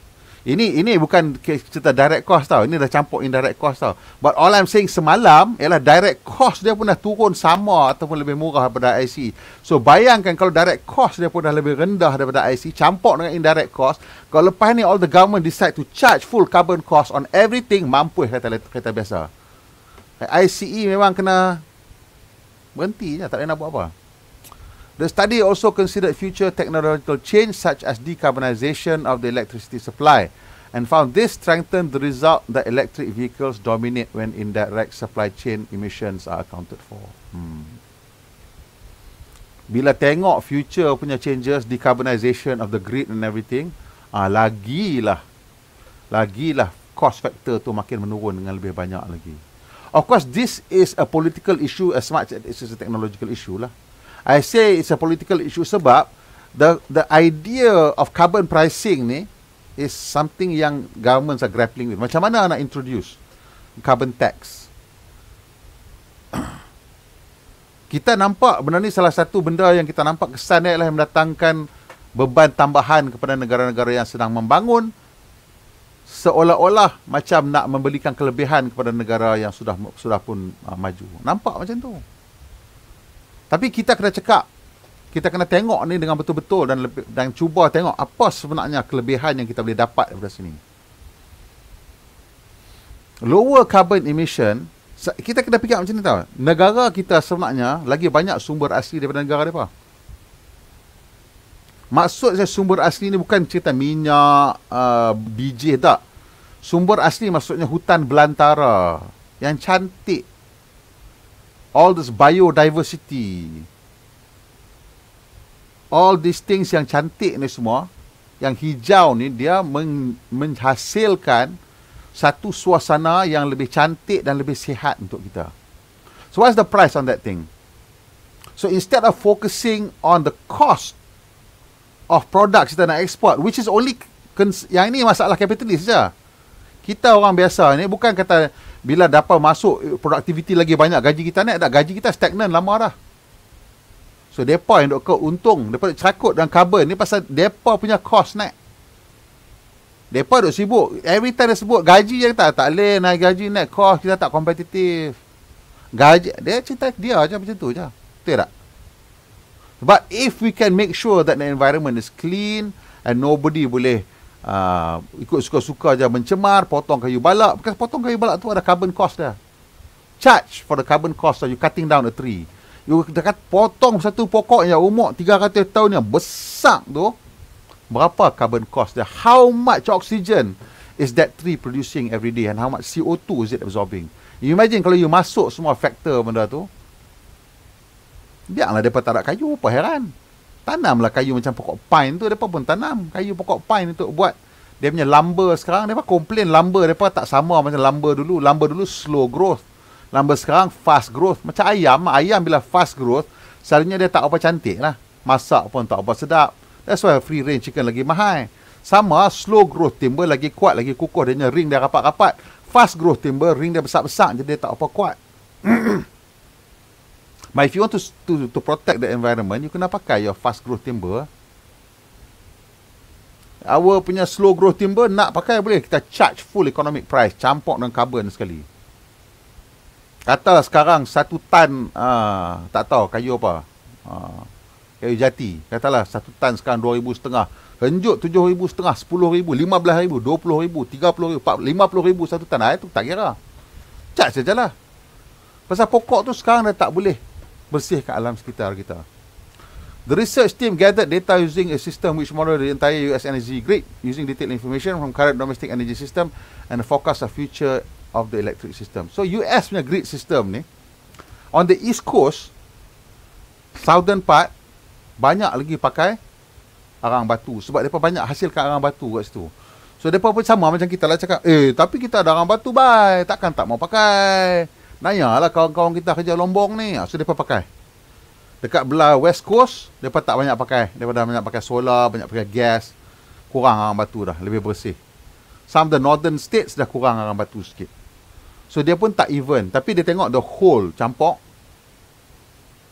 And still shows that it's cleaner The study shows that the elephant in the room is the supply chain of fossil fuel vehicles Not that of electric vehicle Tadi lead Paul Wolfram said ha.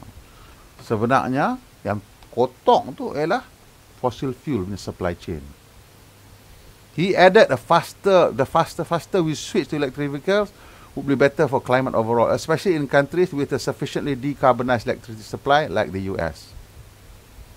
US not really sufficiently decarbonized, tapi okay, okay lah kasi China. They're quite well decarbonized lah.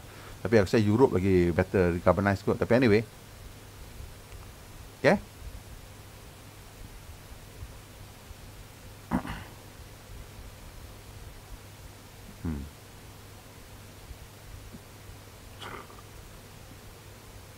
So this is the original article lah, from Yale School of Environment, which is just slightly longer. the data yang digunakan tu ialah National Energy Modeling System, NEMS.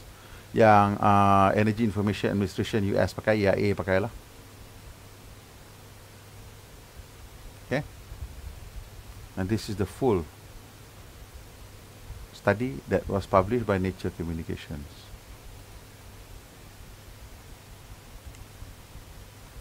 Powertrain uh, sama juga. ICE pun ada powertrain EV pun ada powertrain cuma powertrain untuk EV ialah electric motor reduction gearbox. Uh, macam cakap tadi single speed atau dual speed. Macam Porsche pakai dual speed some company pakai dual speed some company pakai single speed a lot of company pakai single speed dan bateri lah. Kalau untuk EV, uh, ICE then dia ada engine dia ada transmission dan dia ada axle ke belakang lah kalau dia dan ada differential apa semua itu dia punya powertrain lah. Kalau untuk hybrid dan dia ada dua-dua lah. Maksudnya kalau kita tu hybrid dia akan ada engine ada gearbox. Banyak hybrid yang pakai serial hybrid dia akan ada engine dia ada gearbox. Dan elektrik motor duduk antara engine dengan gearbox so kadang-kadang dia pacu kadang-kadang engine pacu kadang-kadang sama-sama pacu. So dia hybrid dia juga ada bateri dan juga ada power control system dan juga battery management system. So untuk hybrid dia ada dua-dua. Okay Kenapa orang otomotif jarang komplain berkenaan masalah negara ni? Uh, pasal masalah tu pada saya taklah berleluasa sangat. Dia setengah-setengah tempat lah. Di mana orang buat buat benda tak masuk akal ni. Dan masalah tu ialah uh, masalah te- tempatan. Maksudnya kalau you ada masalah, orang buat speed bump tak ikut spec, you call lah you punya local council. Majlis Pemandaran you. Penguasa tempatan you. Dan bagi lah dekat dia orang. Kata ada benda ni sekarang masalah pernah berlaku. Tolong. buka balik. Dia, boleh, dia akan buka.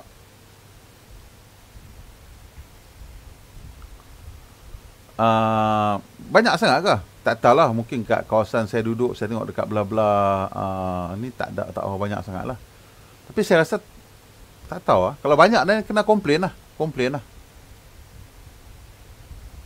Ngeri betul pakai EV kat KL dengan Selangor dengan pothole yang lagi banyak. Well, uh, pothole taklah isu sangat. Dia pothole tu isu tayar lah. Yang pecah rim bengkok lah. Apa-apa semua ni kena improve lah semua ni kena improve lah. Dia tak boleh kita teruskan lah dengan keadaan uh, macam tu. Ada tinggi, ada rendah, ada dekat, ada jauh. Ha, itu memang betul lah. Uh, lewat malam orang tak tengok dah sembang macam ni. Patut buat petang lepas jam 8. Uh, tak tahu pula kalau kawan-kawan rasa nak buat lebih awal, bagi tahu saya buat awal sikit. Saya bagi lepas pukul 10 ni pasal kita rasa dah habis lah, dah settle lah, anak-anak dah settle kan kita dah nak tidur, nak relax, kita boleh dengar lah sesuatu. Kita boleh bincang lah sesuatu yang mungkin uh, ilmiah sikit. Tapi pukul 8 pada saya masih time tu, time berita, nak tengok berita, nak makan, nak isyak lepas tu, nak layan anak-anak kan. Uh, buat homework lah, apalah projek. Apa ke, apa ke, ada, ada nak pergi jumpa kawan-kawan ke, bincang projek ke, bincang, ya tak tahulah. Saya fikir buat pukul 10 ni sebabnya sebab saya ikut uh, abang klasik Mercedes Malaysia. Kita abang Azril dia buat pukul 10 dia kata masa tu nampak cantik.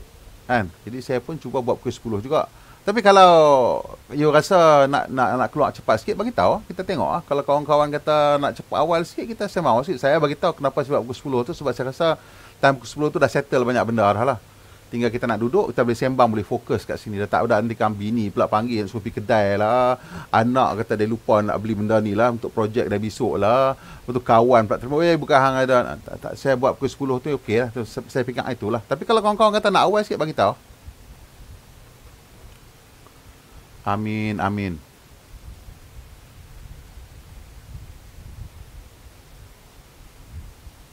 Ha, ni kawan-kawan kata okey je timing tu saya saya ikut tu pasal bukan saya saya tak tahu sebenarnya nak buat kau sebelum ni saya pernah buat awal. Uh, tapi uh, itulah kawan saya Azril lah yang buat Mercedes Malaysia Classic tu dia dia buat pukul 10 dia kata cantik eh. Sorry lo topik yang ni sebenarnya tak perlu pun lebih banyak menyusahkan. Uh, dia macam inilah dekat kawasan sekolah kena ada. Dalam kawasan perumahan juga kalau ada masalah orang memandu laju kena ada. Kadang-kadang jalan yang lalu tengah kawasan perumahan dia jadi jalan laluan pintas. Bila dia jadi laluan pintas, benda tu jadi berbahaya. Sebab dalam kelajuan uh, dalam kawasan uh, perumahan, dia punya speed limit dia dalam 30 km sejam. Dan ramai orang bawa laju. Dan 30 km sejam tu sebenarnya ialah satu kelajuan yang agak rendah. Kalau you perhatikan meter you, kita selalunya dekat kawasan perumahan pun kadang kita lajak sampai 40, 45, 50 km sejam. Pada kajuan tu tak sempat break babe kalau budak-budak keluar lintas celah-celah kereta memang tak sempat. So mungkin kena pasang speed bump lah. Kalau kita boleh disiplin masuk dalam kawasan perumahan kita set 30 km sejam dekat kita punya apa speed controller kan kita boleh pasang speed limiter kan tekan lah pasang kan 30. Ha ni tak boleh lepas 30. Kita tak 35 pun tak apa dah. Kan? Tapi dia ada ada ada ada ada ada tempat yang perlu sebenarnya. Macam sebelum kawasan sekolah sebelum kawasan sekolah, sebelum sekolah dan selepas sekolah kena ada speed bump. Letak dua tiga pun tak apa. Saya okey je benda tu. Sebab kita nak bagi orang slow down betul-betul. Budak-budak nak melintas. Bas sekolah nak ambil budak. Mak bapak nak ambil budak. Jadi tempat setengah-setengah tempat memang perlu. Waalaikumsalam Adli. Jadi kita tengok Ustaz ni dia the nature communication ni. Speed bump biasanya dalam 25 okey. 20 25 okey. Kalau yang ikut spek lah. Ha, kalau you break slow down tu buat 20 tu dah okey dah. 25 dah setengah kita akan still gug. Kebanyakan kereta 20 dah okey. Walaupun suspension lama. Itu ikut kawasan rumah saya lah. Saya ambil apa kereta pun saya try. Uh, macam pickup truck mungkin boleh lepas sampai 30. Benda-benda yang SUV, yang long travel, 30 selalunya okey lagi. 35 dah start, degung lah. Kereta biasa, sedan, 20 cantik dah okey dah. 20 to 25 okey, tengok kereta lah. Kalau sports car mungkin kena turun 15 Kalau spring keras dia selalu terang, dia ikut kan Regung dia terangkat nanti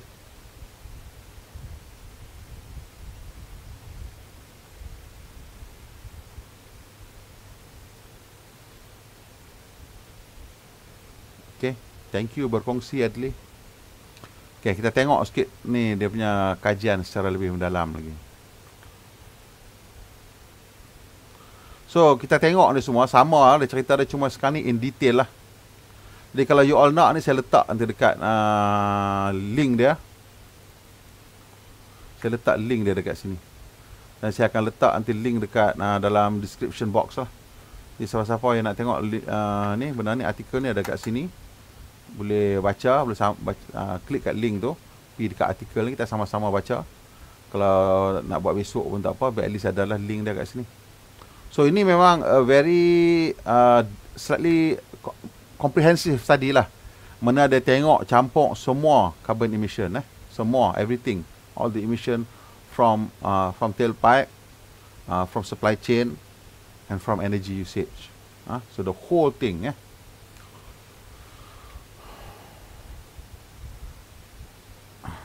Okay. So ni cerita pasal electric emission lah. Okay, kita tengok sah eh. Kita tengok sikit, kita tengok intro cukup ah. Kita baca sampai dekat intro habis ni je. Bawah ni uh, result ni kita tengok sikit lah. Tengok sikit. Pasal benda ni banyak banyak uh, terminologi dan banyak jargon-jargon yang saya pun penin juga lah. Kan? So kita tengok sini sikit lah.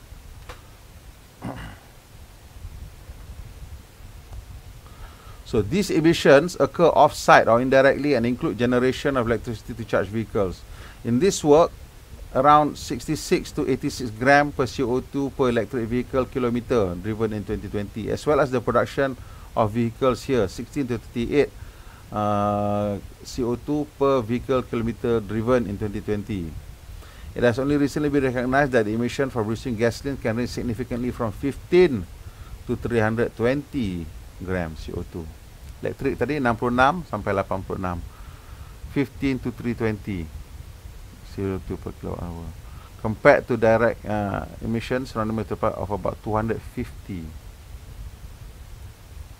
so the emission for producing the gasoline is 15 to 320 emission dekat exhaust pipe is 250 kalau campur jadi apa?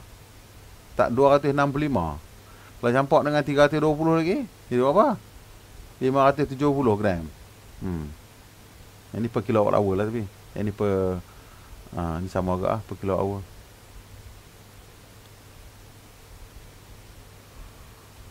Ha.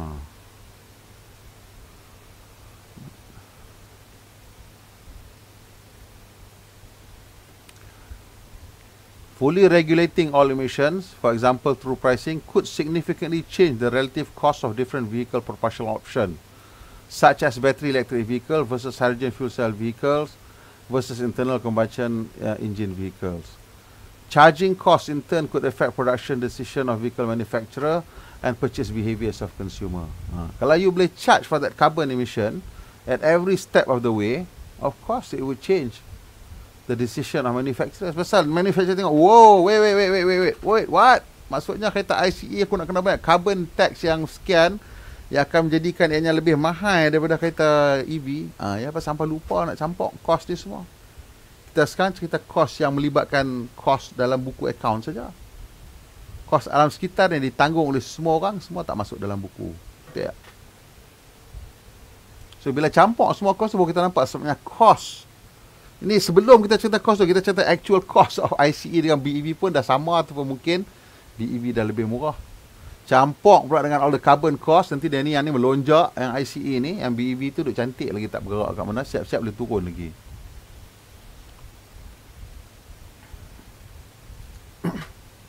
The potential impact of this relationship is unknown to date because neither model calculation nor real world policies have fully accounted for price indirect emission or, or price. Uh, so kita sekarang kita tak tak price lagi indirect emission. So we don't know lah. But even then tu saya cakap bila you tengok cost pun dah dah lebih rendah. So ini ialah dia punya benteng terakhir, benteng PR terakhir ICE. Dah habis dah. Rabak integrated energy model yang ini uh, uh, is like the the standard yang dia orang pakai lah.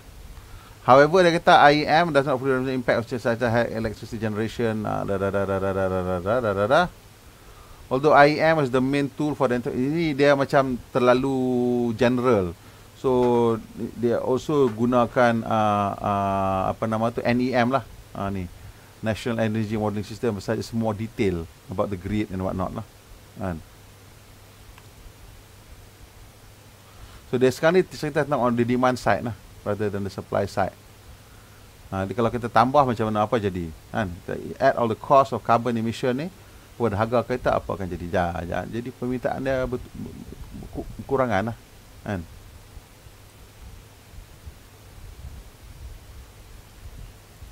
We further introduce a carbon price in the transport sector in 2021 which linearly increased up to 150 US dollar per ton of CO2 constant at 216 2016 punya dollars by 2050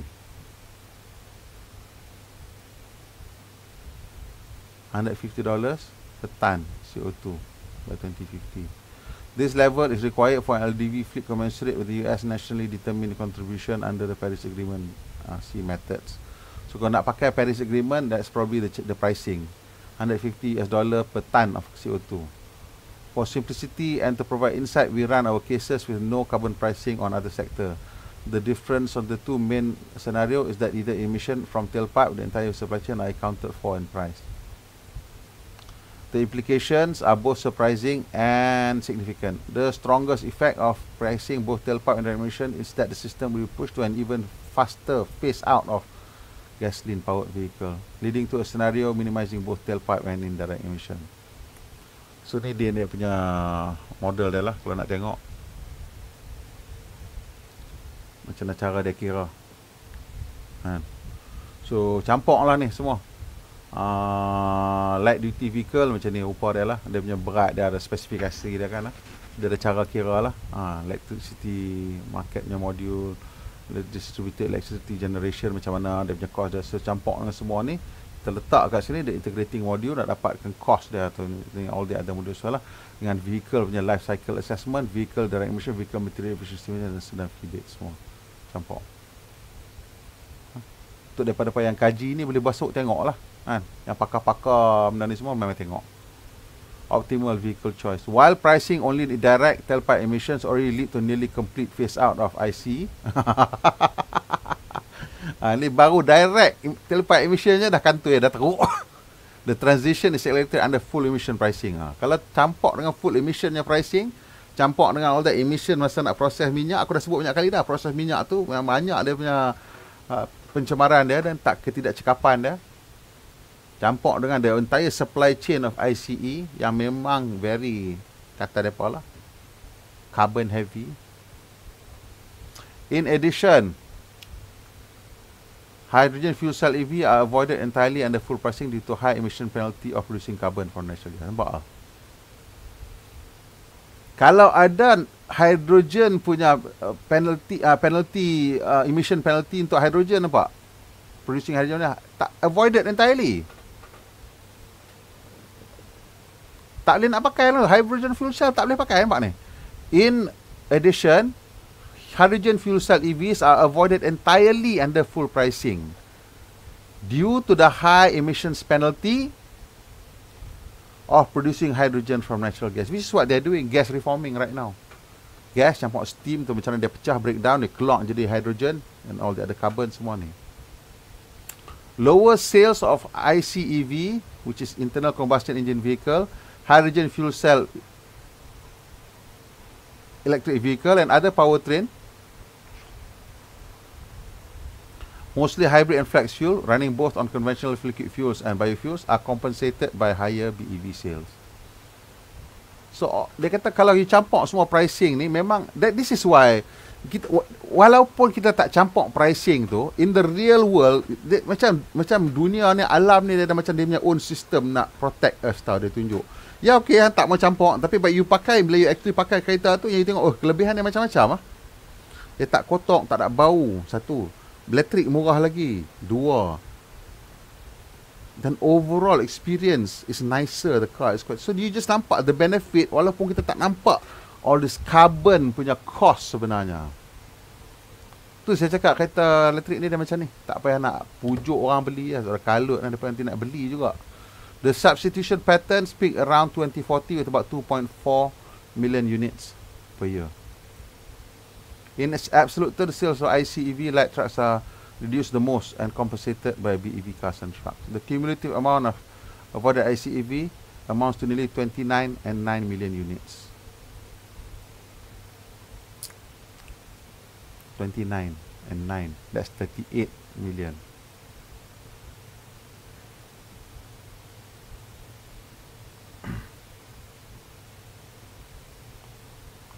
Ini ini kiranya 2.4 million ni additional lah kalau kita campur dengan all this new cost.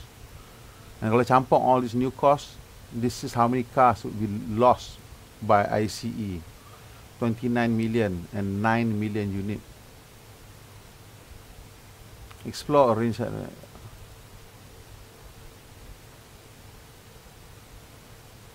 Hmm. So, bukan saja ICE. Fuel cell pun kantoi kat sini. Fuel cell pun tak boleh nak menjawab. pun tak boleh nak menjawab. Pukul 10 beres ya. Okey Adinato, thank you.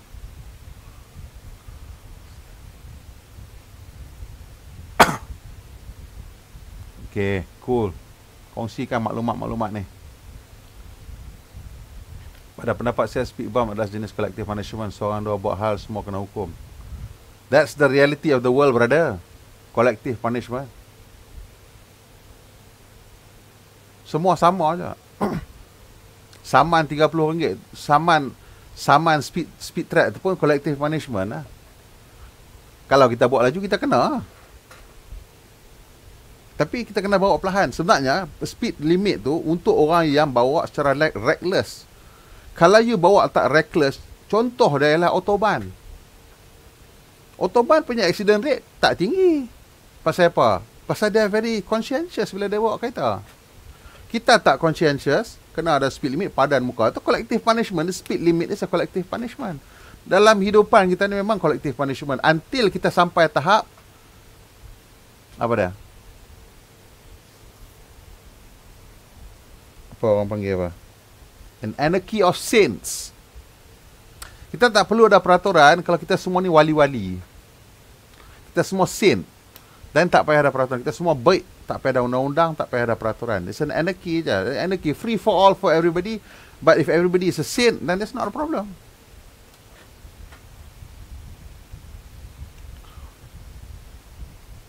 Eh, Toyota dah ada bang. Toyota Corolla Cross Hybrid. Dah start ambil booking dah sekarang. You tengok kat Facebook, kat mana mesti keluar dah sekarang. Proton dengan Pro 2 tu belum lagi lah. Betul lah. Tapi saya rasa akan ada dalam masa jangka masa sederhana ni lah saya rasa 2 tahun lah akan ada Proton mungkin cepat sikit pasal tak tahu produk juga mungkin kalau Daihatsu ada produk-produk uh, ICE yang dia boleh bawa masuk dengan cepat pasal 000 tax ni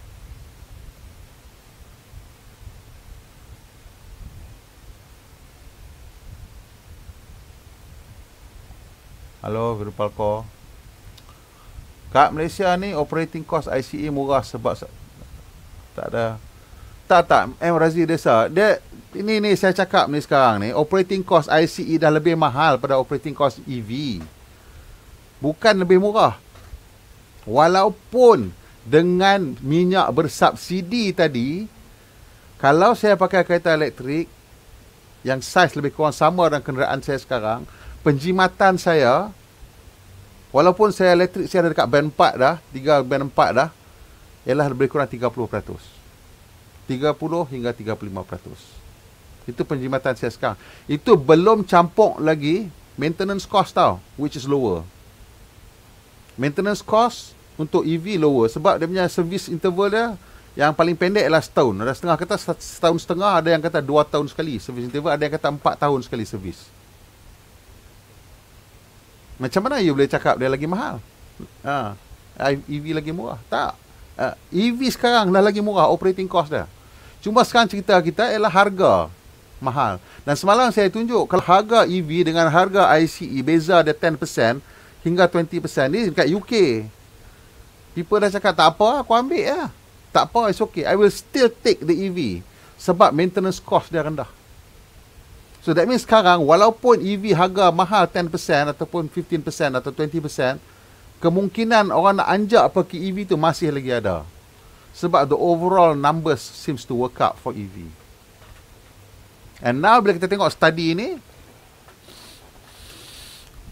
you are doing a service to yourself, to your family, to your country by buying a cleaner vehicle. Cuma sekarang kita tak ada produk nak beli. Tak nak buat apa.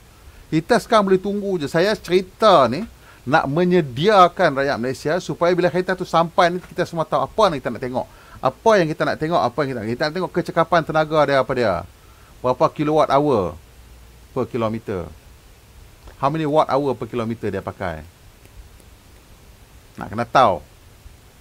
Macam mana nak tengok elektrik motor tu? Ratio dia dengan berat badan kereta. Mana yang optimum? Tengok tak perlulah kita tengok kilowatt hour tu cukup lah optimum dia macam mana. Nak tengok bateri macam mana nak faham bateri state of health charging practices what are the good charging practice which is the bad charging practice macam mana nak prolong your battery life. Which company offers the longest warranty? Tesla punya 8 tahun sekarang warranty. Tak silap saya Hyundai pun lebih kurang tu 8 tahun warranty battery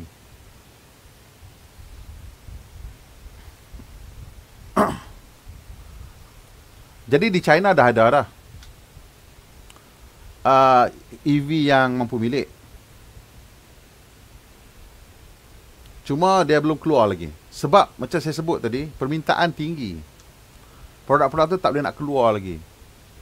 Jadi kita sekarang nak, nak tunggu syarikat-syarikat kita berganjak. Kalau dia tak berganjak, dan yang yang existing ah brand ni tak berganjak, dan brand baru akan masuk ah. Brand daripada China. Ya, buat masa sekarang betul. Saya setuju. Saya setuju tu.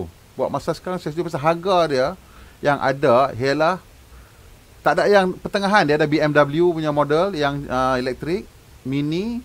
Uh, lepas tu uh, Recon Tesla. So Recon Tesla 285 ah ke 289 lebih kurang 290 lah cerita. Lepas tu ada BMW punya gang lah yang lebih kurang harga-harga tu juga kemudian kita ada Hyundai Kona EV 150,000 start tapi kereta tak ada Duk tunggu Aura Good Cat tak masuk-masuk lagi Tunggu Proton buat masuk geometri Kung Fu kau tak masuk-masuk lagi. Tunggu Pro 2 buat masuk produk kepada Toyota yang BEV belum ada lagi. So belum ada lagi lah. Sekarang ni memang kita punya nasib lah Razi. Eh, Razi Desa aku kenal hang kedak ni sebenarnya ni. Mak Razi Desa ni. Hang dak jenan lah.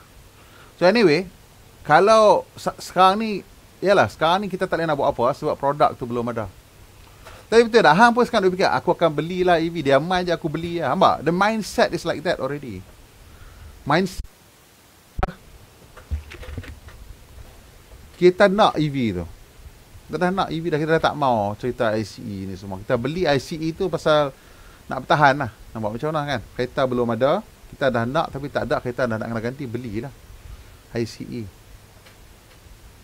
But everybody ni akan manage ni. This stranded asset ni termasuk kita sekali ni. Kalau kita beli lambat sangat dan kereta tu kita kena simpan lah. To be is okay. You, you beli the last generation of ICE car ni simpan lah. So bila kereta you beli ICE yang last ni, pilih yang best yang you suka. Dan beli dan simpan. Masuk ke lubung. Bila bayar kereta elektrik tak boleh jual hak ni lah. Simpan hak ni masuk ke lubung, beli baru BEV. Ini simpan masuk ke lubung nak tunjuk kat anak cucu. Nak bagi kat anak cucu boleh merasa. Kereta tok dulu bawa. Ada enjin. Macam mana rupa enjin? Macam bayangkanlah tok nenek kita dulu kata-kata. Saya simpan kereta kuda tu kat belakang. Nak tahu tok dulu pergi naik pi angkat barang apakah pakai kereta lembu. Ha ni kereta lembu dah kat belakang. Tunjuklah itu cerita dia. Lah ni kita beli kita fikir nak simpan lah benda tu. Tak usah cerita kita beli sekarang kita kena mindset kita kalau nak beli ICE cari yang cantik yang kita suka, yang kita rasa berkenan kita nak simpan. Yang bestnya yang satu kita nak simpan. Dan start cari dah lah ni. Start cari dah kereta-kereta second yang best yang kita suka nak simpan. Aku nak cari Mazda Miata. Kalau tak ada, kalau ada Lotus Elise lagi shock cari beli nak simpan. Ada Mercedes SL ke harga cantik-cantik ambil simpan. Ada BMW M3 ke 1 series ke ambil simpan. Ini time untuk kita beli untuk simpan lah. Ya betul. Betul. Benda ni akan berlaku lah benda-benda macam tu. Publicity, dia YouTuber mungkin dapat view banyak kan?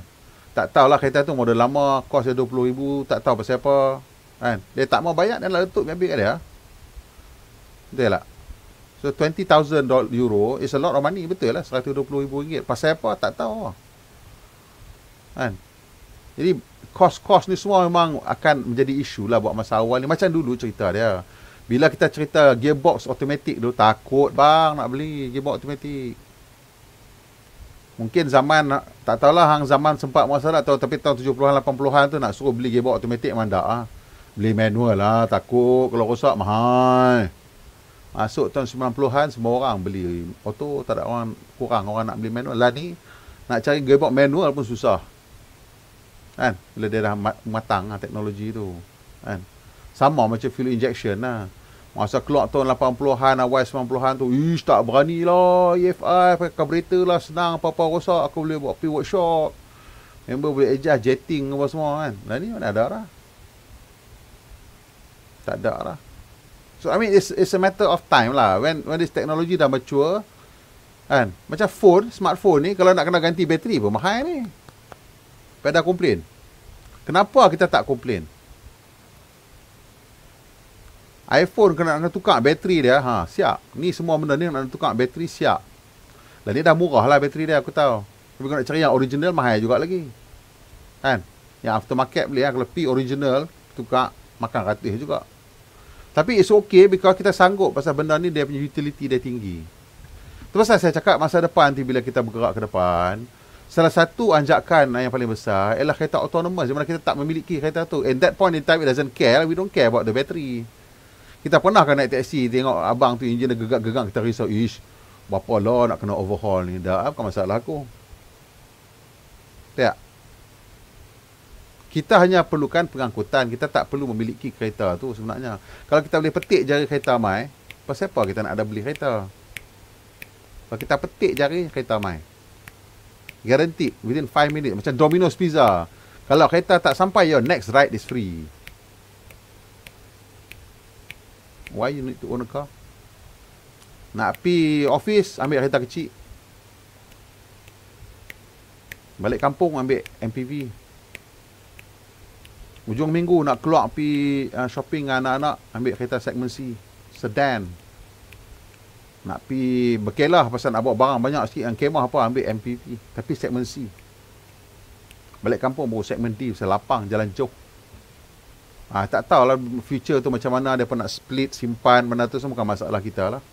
Tapi benda tu is that's the future and where the cost of the battery to me sekarang dia makin turun makin turun makin turun dan reliability makin dahsyat boleh tengok lithium ion phosphate dah tak ada isu.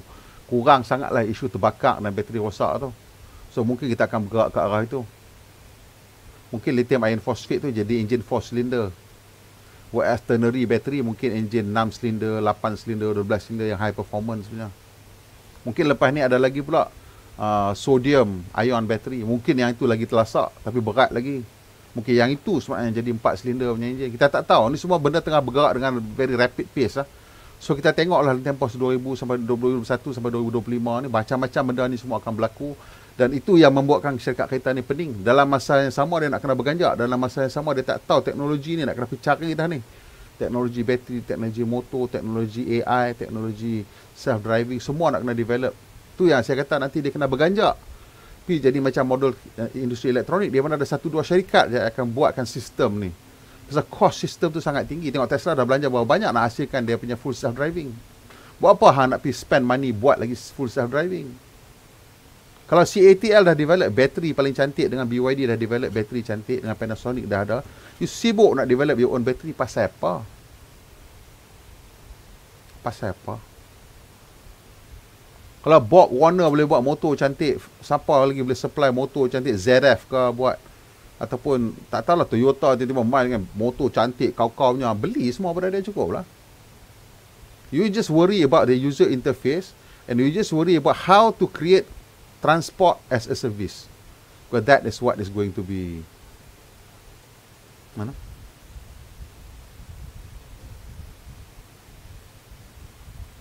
Proton dengan Prodo saja je kot tak nak masukkan EV dari Geely yang Toyota sebab tak adalah Pasal okay, you nak cakap macam tu, it doesn't even make sense, you know why I say it doesn't make sense.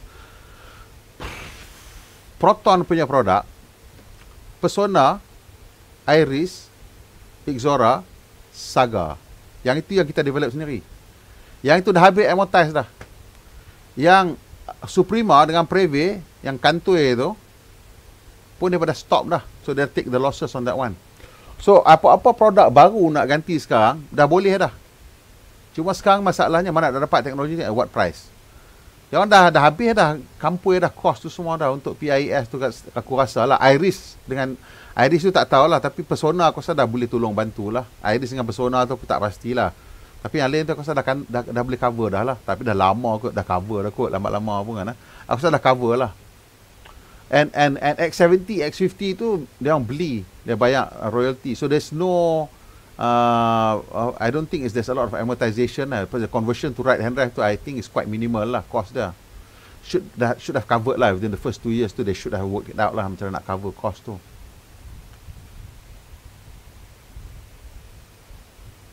Ha, betul? Dulu kan nasihat tak usah beli auto lah rosak mahal. Tak usah beli injection, beli carburetor senang nak repair. Melani ada. Hmm.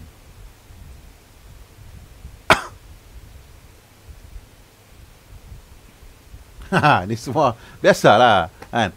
Kita sekarang pada tahap early adopters. Kita kena ingat tu lah, kita pada tahap early adopters nak masuk ke tahap mass market. Dia tengah inflection point. Lagi satu dua tahun dia masuk full mass market. Dan sampai kat kita lambat sikit lagi lah tu. Kita 2024, 2025 lah. 2023 paling awal tapi saya rasa 24 25 lah. Ha. Tak nak buat apa kita macam tu lah. Akan ada EV uh, used car pula. Tapi kalau dia masuk ke transport as a service dan tak ada lah. Bye bye. Eh. Unless kereta tu dah lunyai lepas jual kereta EV second hand lepas transport as a service dan kita beli murah-murah mungkin lah. Tapi dia remove dia punya AI ke apa kita tak tahu lah. Kan? tak tahu rupa masa depan tu saya tak tahu macam mana dah. Saya tak dapat nak bayangkan pasal terlalu banyak perubahan yang akan berlaku. Oh. Okay, saya rasa dah dah dah cukup panjang dah cerita kita hari ni. Kalau ada apa-apa soalan-soalan kawan-kawan nak tanya boleh bagi tahu. Kita cuba tanya jawab kat sini sekejap. Kalau tak ada, kita boleh berhenti dalam seminit dua lagi. Sudah satu jam setengah hari ni. Ada apa-apa soalan nak tanya? Dia dah delay sikit kan, so saya tunggu sekejap lah. Adakah Proton Saga MC2 akan digunakan transmisi manual sebenarnya Iris dan Persona? Rasanya akan digugurkan jugalah. Akan digugurkan jugalah manual. Uh, tak tahu. Mungkin, tak tahu lah. Mungkin pasal Saga kan. Mungkin pasal Saga dia akan maintain satu. Aku tak tahulah. Mungkin lah. Mungkin pasal dia Saga. Orang nak kereta murah. Mungkin dia akan dah simpan satu lah. Pasal Pro 2 pun simpan dekat uh, Asia kan. Uh. So kalau Pro 2 simpan kat Asia mungkin dia simpan kat Saga satu lah. Mungkin lah. Kan. Pasal, tapi nak kata nak pakai kat driving school semua pakai Asia tak rasa pakai Saga. Pasal harga dia RM25,000 je. Kan. Tahun depan Ablikia akan label sebagai last ICE. Kita semua tengah fikirkan kita punya last ICE lah kan betul tak kita fikir last ICE kita yang best ni carilah satu yang best ya buat simpan beli simpan Ini last ICE. Ada orang buat manual. Ah, ada orang buat bagi manual. Depa convert lah tapi convert kereta biasa, convert jadi EV, ada gear ada gearbox. Dia buat ada gearbox. Ada orang buat macam tu. Apa sebab dia saya tak tahu saja masa nak bagi seronok main gear kot. Tapi ada orang buat macam tu. Tapi kebanyakan orang buat tak ada gearbox pasal tak perlu pasal kereta kereta EV ni elektrik motor dia torque dia maksimum daripada 0 RPM. Tapi kalau saja-saja nak shock kan. Jadi kita boleh apply motor yang kecil sikit.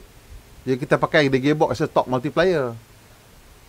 So boleh lah. Boleh juga macam tu. It's an interesting idea. Pasal benda ni is still new kan. So kalau you nak pakai gearbox, you boleh pakai motor kecil. Kan? Pasal the gearbox will help. Ha, so boleh lah macam tu.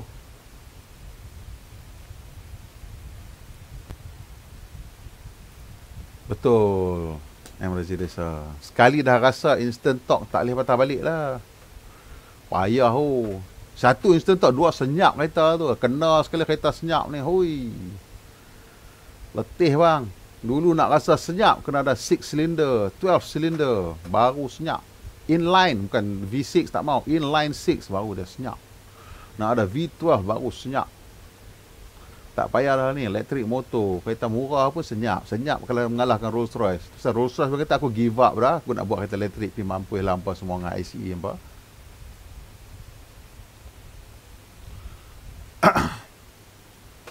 Kita tengoklah VinFast ni macam mana cerita dia uh, Tuan Firdaus. Sama ada dia boleh ramp up ataupun tidak. Dia boleh dapatkan bekalan bateri ataupun tidak. Uh, bukan senang sebenarnya kan, nak masuk ke industri otomotif ni. Kita tengok yang last berjaya ialah Elon Musk lah. Dengan dia punya Tesla. Dan dia seorang yang genius lah. So it's very difficult sebenarnya. Kita kat Malaysia ni pun struggle lah. Dengan Proton, dengan Pro 2 kita. Kita tak boleh nak pergi global lagi. But of course, like like I said, this is the new world of EV. Nobody has an advantage. Dan EV world ni mungkin dia punya cost structure dia berbeza, mungkin lebih murah, mungkin the barrier to entry lebih rendah. Kan?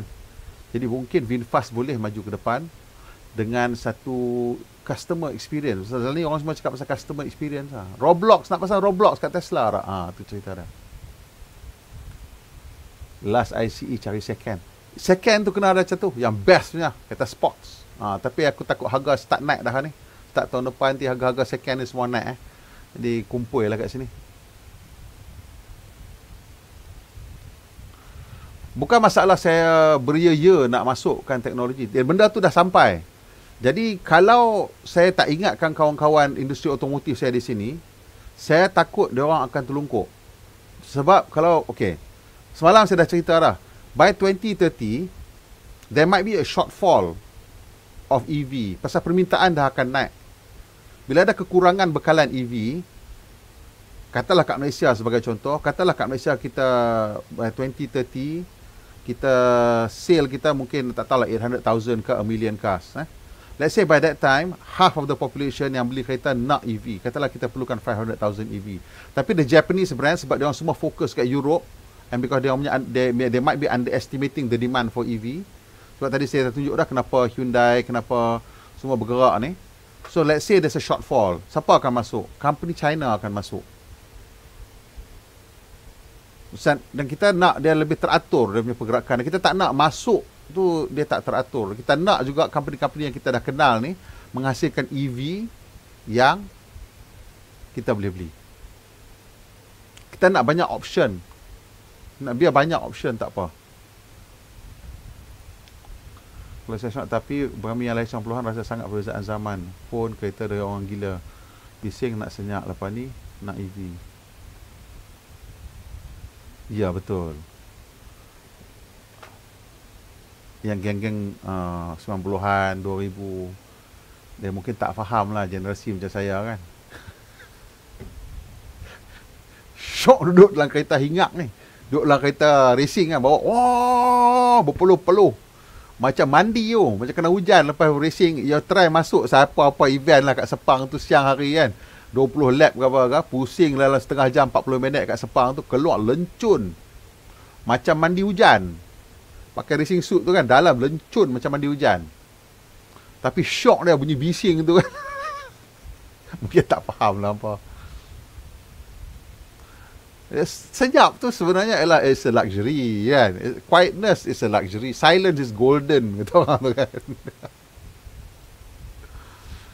Ah, Betul lah. Bising buat apa Semak perut. Nah. Bayangkan satu pekan kita ni kan Bas pun tak ada Semua bunyi elektrik Semua senyap. Ya. Wiu, Macam dalam cerita Apa?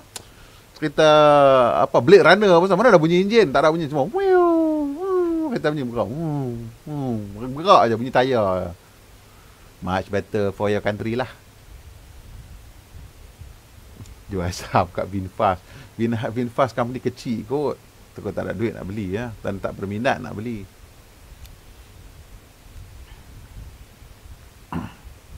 Yes, betul. But Europe is not like, it's like maybe 25%, 20 to 25% of global market. You know, maybe less maybe 20% of global market. US maybe eh tak aku rasa tak sampai lah. Maybe 15%, 20% lah of global market. US pun sama 15 to 20% maybe. Aku rasa less, 15% kot depan ni, 10 to 15% lah kot. Pasal uh, China lagi kan. 20% kot US. China maybe lebih sikit lah. So anyway, whatever it is, kira basically um, uh, Europe kalau betul 2035 so by 2030 rasa-rasa berapa persen kan? Uh, so mungkin dia orang pun dapat convert awal. Uh, so tu yang kita kata mungkin demand untuk kereta elektrik ni lebih tinggi daripada yang dijangka.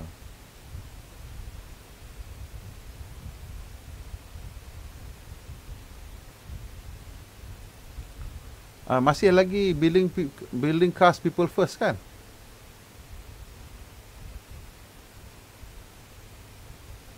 Bukan, bukan tu kan dia tagline. Saya pun tak ingat apa dah. Saya ingat silent tu masa iklan Lexus City 200H. Sekali masa cakap The New Revolution. Yes. Quietness. The Quiet Revolution. Sudah my wilayah Raywan baru ni buat market research ni dah lama ke sekarang pernah baca. Yes, dia orang uh, dia orang dengar cakap produk uh, Daihatsu. Daihatsu do a lot of market research lah nak tengok produk apa yang sesuai. Bukan ekstrim nak kata EV tapi uh, nak tak nak benda tu akan datang. Seorang akan pilih the best lah. Yes bukan saya, saya saya nak bagi tahu benda tu akan datang. Jadi kita kena bersedia. Kena saya nak saya ni dah lama dalam dalam industri ni uh, tuan. Saya sejak saya dah 25 tahun dekat. Jadi semua kawan-kawan saya. Saya kenal semua kawan-kawan semua dalam tu. Dan semua syarikat-syarikat itu semua kawan-kawan. Bila proton suffer saya sedih dulu nak kena jual tu sedih memang betul sedih masa kawan-kawan. Bila Prodo berjaya kita gembira pasal dia pun kawan kita. Jadi kita tak nak any of them suffer. So kita nak bagi tahu ni. So bila government bagi 0000 saya tepuk tangan. Pasal ini memberi ruang kepada semua pemain-pemain industri otomotif untuk fikirkan langkah mereka seterusnya. Gelanggang dah buka selapang-lapangnya buka gerak lah. Bunga apa nak pakai semua boleh dia bagi buka semua. Hampa atok lah. Tu pasal saya sekarang makin banyak cerita benda ni. Saya nak semua orang tengok dan kata okay we need to think about this. Saya tunjukkan maklumat apa yang ada ni yang saya jumpa saya bagi tahu. Itu sebab dah. So semua kawan-kawan saya. Rolls Royce bangga dengan dia. Lepas tak EV tak ada nak fight sama pada sini Pak Ibi letak ni lah uh, Duit shilling kata Motor elektrik Pasal kereta, duduk dia Diam static stationary Tengok Tengok siapa punya aircon Boleh bergegak kuat lah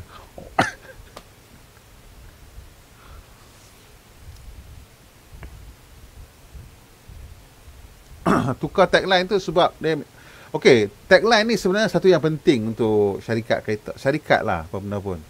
Pasal dia boleh menjadi macam uh, fokus untuk everybody. Bila you buat company kereta macam produk dia kata dia tukar tagline dia jadi building cars people first. Tagline tu secara kalau kita tengok in terms of the language, in terms of the beauty tak cantik tagline tu. Building cars people first. Tak cantik tagline tu. Tagline tu memang caples lah dari segi dia punya lagu, rentak dia punya. Kalau macam Nike, just do it. Oh, best kan? Building cars, people first. Alamak, apa tu? Tapi it's a very important tagline. Dia memang buat kereta, tapi people first. People first mean people everywhere. Dalam syarikat tu, people first. Pelanggan dia pun people first. So, apa yang diperlukan oleh orang? Oleh pekerja dia, dan oleh pembeli dia, dan oleh the seluruh ekosistem. So, itu it helps to, uh, uh, apa orang panggil, condense the spirit of the company into one line. Building cars, people first. Priority dia adalah orang. Manusia. Macam Honda kan? Machine less, people more, something lah. Eh? Something like that lah. Kan?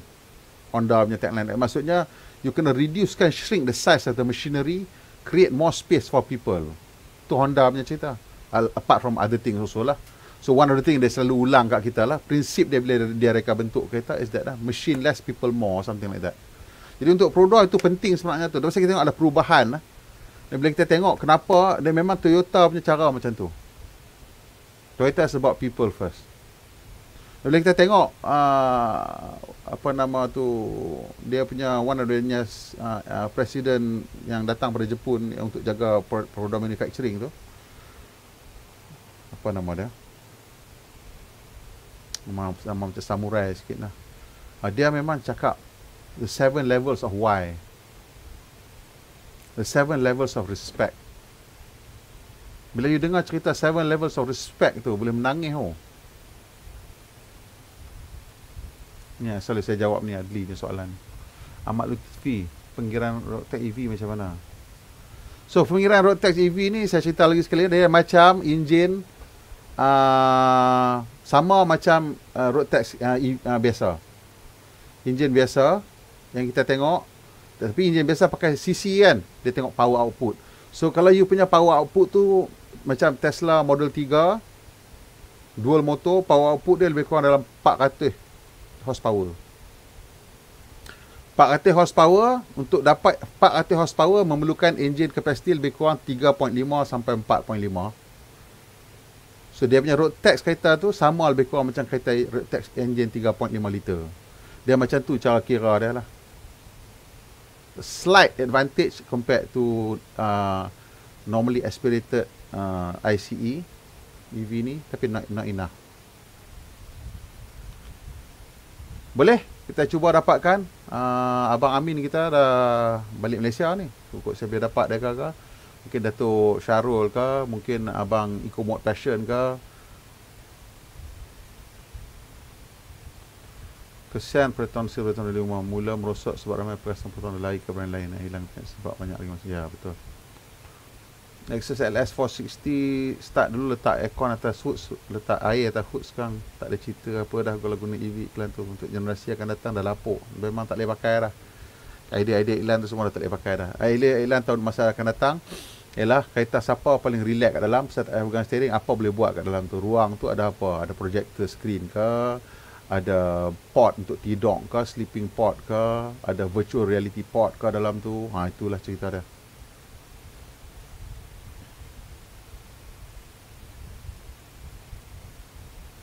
Yalah, pelanggan ke orang lah manusia lah. Termasuk juga dia punya staff kan dia bukan cerita pasal pelanggan saja tau. Dia punya fokus juga kepada dia punya staff tau. Bila dia cakap people first tu, it's not just about the customer, but also about orang kerja kat Pro 2.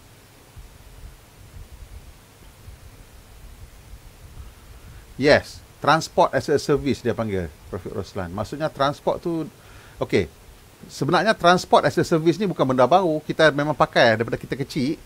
Saya tak tahu lah hampa pakai ke tak pakai. Tapi saya masa kecil, pergi sekolah naik bas. Bas tu bukan saya punya. Ianya hanya satu perkhidmatan. Jadi transport as a service bus. Kalau ada duit sikit, tahan taksi. Taksi tu bukan saya punya, tapi ada satu pengangkutan saya angkat bawa juga saya pergi ke mana. So transport as a service. Bila saya naik ferry atau naik boat pergi Langkawi, ferry pergi Pulau Pinang, pergi Tioman, pergi Redang, boat bukan saya punya tapi transport as a service. saya tak payah beli boat. Bila saya nak naik kereta api, saya tak payah beli kereta api transport as a service pengangkutan sebagai satu perkhidmatan bila saya nak naik kapal terbang pi London ke, pi Jepun ke, pi Korea ke, pi Australia ke, saya tak payah beli kapal terbang. Pengangkutan terbang tu ialah satu perkhidmatan. Saya beli tiket lah. Jadi kenapa kita kena beli kereta? Bayangkan kereta tu kita kena bayar 24 jam tau. Pakai tak pakai kena bayar. Kita pakai kereta sehari 2 jam mungkin 3 jam je. Katalah ada orang offer lah. Sejam 2 ringgit setengah kau sejam lima ringgit. Aku pi office Mungkin setengah jam lah. Dua ringgit setengah. Balik lagi dua ringgit setengah. lima ringgit. Anak-anak pergi sekolah pun lebih kurang tu je. Mungkin dia lebih sikit Pasal mungkin dua sekolah anak menengah sekendah sepuluh ringgit. Atau belas ringgit anak-anak pergi sekolah. Wife kita pergi kerja apa semua pun lebih kurang. Kita sama lebih kurang. Katalah sehari kita pakai dalam, tak tahu lah, 20 ringgit.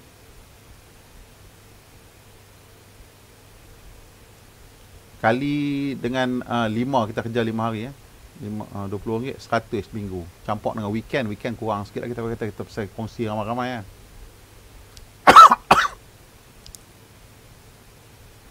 RM400 sebulan. Kata 6-700 ringgit sebulan. Macam kereta murah lah. Kita kena bayar dalam lebih kurang kata 6-700 ringgit sebulan. Kalau sebelum ni kita kena bayar 1,200 campur dengan insurans. Mesti insurans tak ada asli. Kita tak lebih risau insurans. Tak payah risau maintenance, tak payah risau minyak. Kita banyak tu je. Kita petik je kereta mai janji dalam masa 5 minit. Macam mana?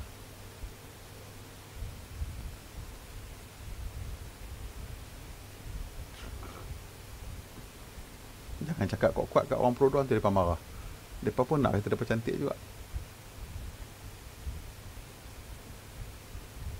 Ya, in towns mungkin akan perlulah. Dalam low speed punya ni mungkin akan perlu kena hasilkan bunyi. Only because pedestrian lah. Pasal kalau kita naik kat, kita berjalan kat China, skuter kecil-kecil yang banyak dia pakai tu kan, yang ganti bicycle tu. Saya banyak kali nak kena langgar dengan benda tu. Mas sendiri. Tak tengok bunyi. Kan? So ya, yeah, bunyi tu akan kena ada. So kita kena fikirkan macam mana cara lah. Benda tu kan bunyi tu macam mana, berapa decibel. What makes sense, what doesn't make sense. Ataupun sama ada bunyi tu dia akan sambung pada kita punya headphone ke apa ke. Ah tak tahulah benda ni. Saya pun tak tahu nak cakap. Tapi memang kena ada sesuatu lah.